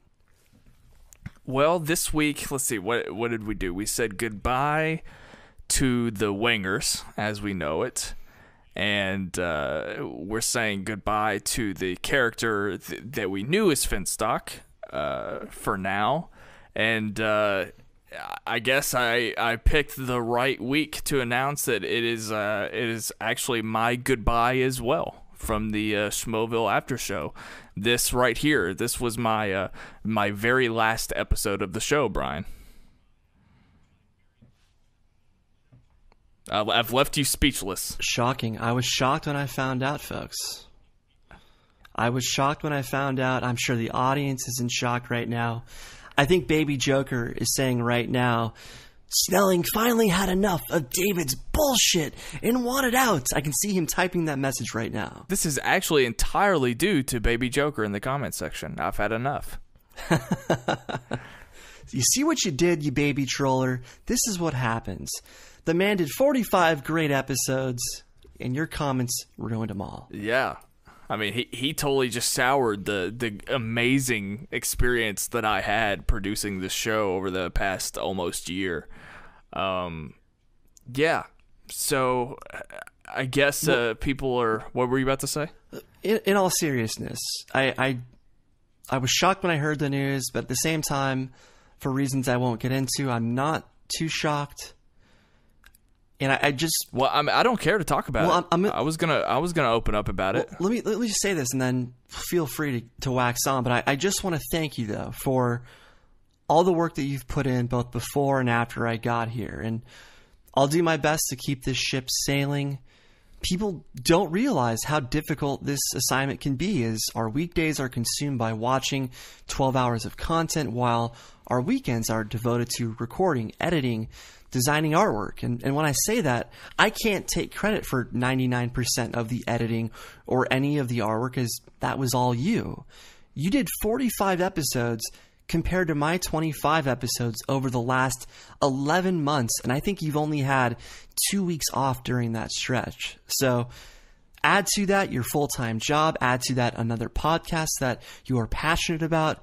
And I, I totally understand your decision, but just know I've never had this much fun podcasting with anyone. So I hope you don't become Oh my god! I, I swear to God, this is I'm being absolutely serious. No, no, no kayfabe, no shtick. Honest to God, I just hope that you don't become the next shoesy pants, the next cheese, the next kid, and just disappear from the face of the earth. So don't be a stranger moving forward. that might happen because Kristian is already blowing me off. Is that what you were referencing earlier when I was when I said that he didn't answer my question about the Jedi Council intro? I, I was joking about it, yeah, because of course, Oh, of course, he's gonna blow you off now that you uh, have left the show. Probably, which sucks because I thought we were friends. I'm, I'm joking, but that that could be a reason. no, okay, yeah. So, uh, for, well, for one, thank you. I can I, I I'm not gonna lie, I cannot believe that you said that, but that is uh, that's incredible, and uh, man, you almost made me get pr- uh, really emotional. Um, I, that was the goal. I was trying.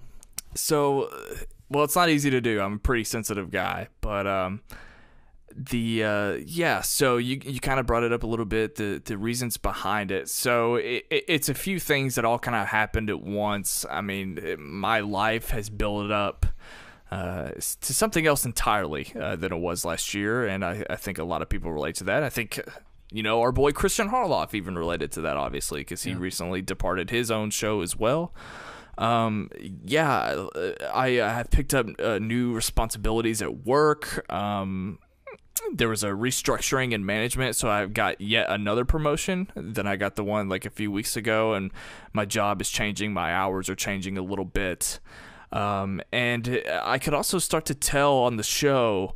Uh, I was watching less and less of the Collider content, and I knew that the show was slipping further and further away. I was feeling more disconnected, and I just wasn't able to keep up in the way. But but I can't lie as well. I mean, part of me part of me would just be exhausted and part of me would just be like well why can't I, I would love to just take this night and actually watch a movie or a tv show and not watch the show about the movies and tv shows. I mean i think uh, we all have those we all have those feelings but because i was responsible for this show i wasn't able to really take a break like most people do. People can you know stop watching collider at any point or take a break from it. Yeah. uh, i could not. And uh, but, but what i am looking forward to doing is just going back to being a fan of the show, watching it casually, uh, and, and, just being able to enjoy it more.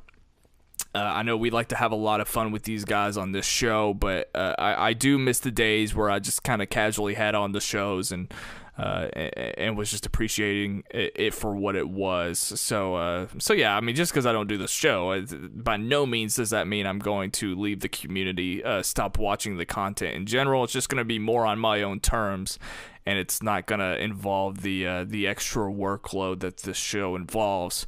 But what I did though is uh, absolutely love and care for the show. Um, this is something that. Um, I, I never in my life thought I would be doing. And I know that kind of sounds silly, but it's only just because these were people, and I've talked about it before, these were people that I watched every single day. And you build these people up in your head. These are the these are people you spend all of your time with. These are celebrities in a way. I mean, I watch them as much as I watch someone like David Letterman at one point. I mean, it's just they they were so unique uh, to me, and they're unique to everyone. I think people that love them in Schmoeville. I never in my life thought I would be given the opportunity to uh, produce and host a show on their podcast feed. It still blows their mind. Or blows my mind. It still blows their mind, yes, uh, but it, it, blows my mind as well. And uh, it's just something that I will never I'll probably never get over, and uh, I will always think fondly of this experience. And I met and collaborated with and worked with some amazing people. We I, I, we joke a lot about the interactions with the Wangers and uh, Ellis and Kristian, but my God, are those people just genuinely great people? Yeah. I mean, my God, I am so impressed uh, by how generous they were with their time to talk to me when I was just a silly fan or when I had silly questions to ask uh, ask them so we could uh, talk about it on this show. I mean, they are just unbelievable people. Um, uh, RB3, Cobster, Cody, Ace um, Mark Riley as well. People that I've uh, I've uh, been able to talk to and and have a, a, certain relationship with, aside from just you know uh, someone like Josh Macuga, who I'm not so close with. But I mean, I just it it, it all was. Um, I don't know. It, it, it was a pivotal point and a highlight of my life, and I I uh, will always uh, remember this experience. And uh, yeah, it's nuts that like things like that video I made with Ellis. It's absolutely insane that I exist on that platform. It absolutely blows my mind. So, uh, anyway, I, I, I don't know if I've said everything that I wanted to say. I probably didn't. Um, that, but that's a great uh, way of saying that you're no longer directing the Batman. Thank you. Th- thank you for laughing. I, again, we forgot about Ben Affleck departing the Batman. So it's a big week of departures. Finstock, the Wangers, Ben Affleck, and Ryan Snelling. That's true. And uh, I'm looking at the wavelengths on my program, by the way. I think this is the first time I might have mm. actually beaten one of your uh, your monologues uh, in in time. Anyway, I've been yeah. I've been rambling for a while. This is like a Brian David speech. Um, you deserve it. I uh, Aaron Turner from the Schmoedown Rundown will be taking my place. I am uh, passing the torch on to him. Uh, he is someone that when I found out well, that he was taking my place, I was I was seriously thrilled uh, because I love. I gotta I gotta correct you. I gotta correct you for a second. Okay. I'm taking your place. He's taking my place. Okay, that's fine. So we're just we're, we're shuffling around. E- even after I eh, have left the show, Brian Davids will still continue to correct me, and that will never change. um, he he is coming on board, and I was thrilled to hear it because uh, I, I love Aaron and uh, respect him, and uh, I think the show is Sorry for interrupting, but he can finally say he's on the number one show on the SK podcast channel now. Yes, I, I'm sure uh, he he will take full advantage of that because uh, he is he is a pretty cocky, arrogant person. Uh, if you know anything about him, If you him, can't beat him, join him. that's right. That's right. Um, but yeah, so Aaron Turner will be joining uh, Brian from here on out, and uh, like I said, I don't know. uh, By the way, I, I told Aaron that uh, the stipulation was he should allow me to come on the show whenever I want, whenever I have the free time, and he said yes. So guys, if I'm never on the show again, it's because of Brian Davids. Again, you got to ask me. He's taking my my spot. I'm taking your spot. So all decisions run through this house. Nah, but of, of course, of course, you're all, of course you're always welcome back in uh, 2019, 2020. well, you, you skipped 2018, so is is that a no go for 2018? Uh, we, uh, need some space. You know, a year apart will make the heart grow fine. This was my yeah, this was my retirement match. I have to take a one year uh, one year break, and uh, yeah, I'm going to miss uh, busting uh, everybody's chops too. Causing Kristian to uh, DM me in the middle of the night complaining about something that I said. I will uh, absolutely miss those moments and uh, so many more. And I'm probably forgetting to say a ton of stuff, but uh, but I will I will stop it there. And uh, again, my final thank you is to the to the fans and to the friends that I've made in the community people that embraced us, uh, I, the, the people that comment every week, the people that tweet at me, the people that followed me. uh, I mean, all of that. I mean, it's the cliche is real. It's it, this doesn't happen without listeners. Um, so just uh, just a massive thank you, and uh, you were uh, a big part of this rewarding experience as well. So um, you feel free to stay uh, in contact with me. In contact with me, I uh, will always want to talk about schmoes and Collider and movies and TV, all the stuff that people like to talk to me about. Uh, I am game, and uh, yeah, so it's not like I'm disappearing. But uh, I'll just uh, I'll stop it there, and uh, I want to say thank you to you, Brian. Will you be? Will you be? You gonna cut me off? Thank you. You you gave you gave you gave me this chance. No, we're we're on delay right now. Like you're talking, our Skypes are being delayed, so that's that's when you know you've got a long show. But my question is, will you be back on this show before Miri Jetikin is back on the Schmoes Know show? That'll be the big question. One hundred percent yes. That, that's a that's a great note to go out on. so let pl- plug away, plug away, plug away.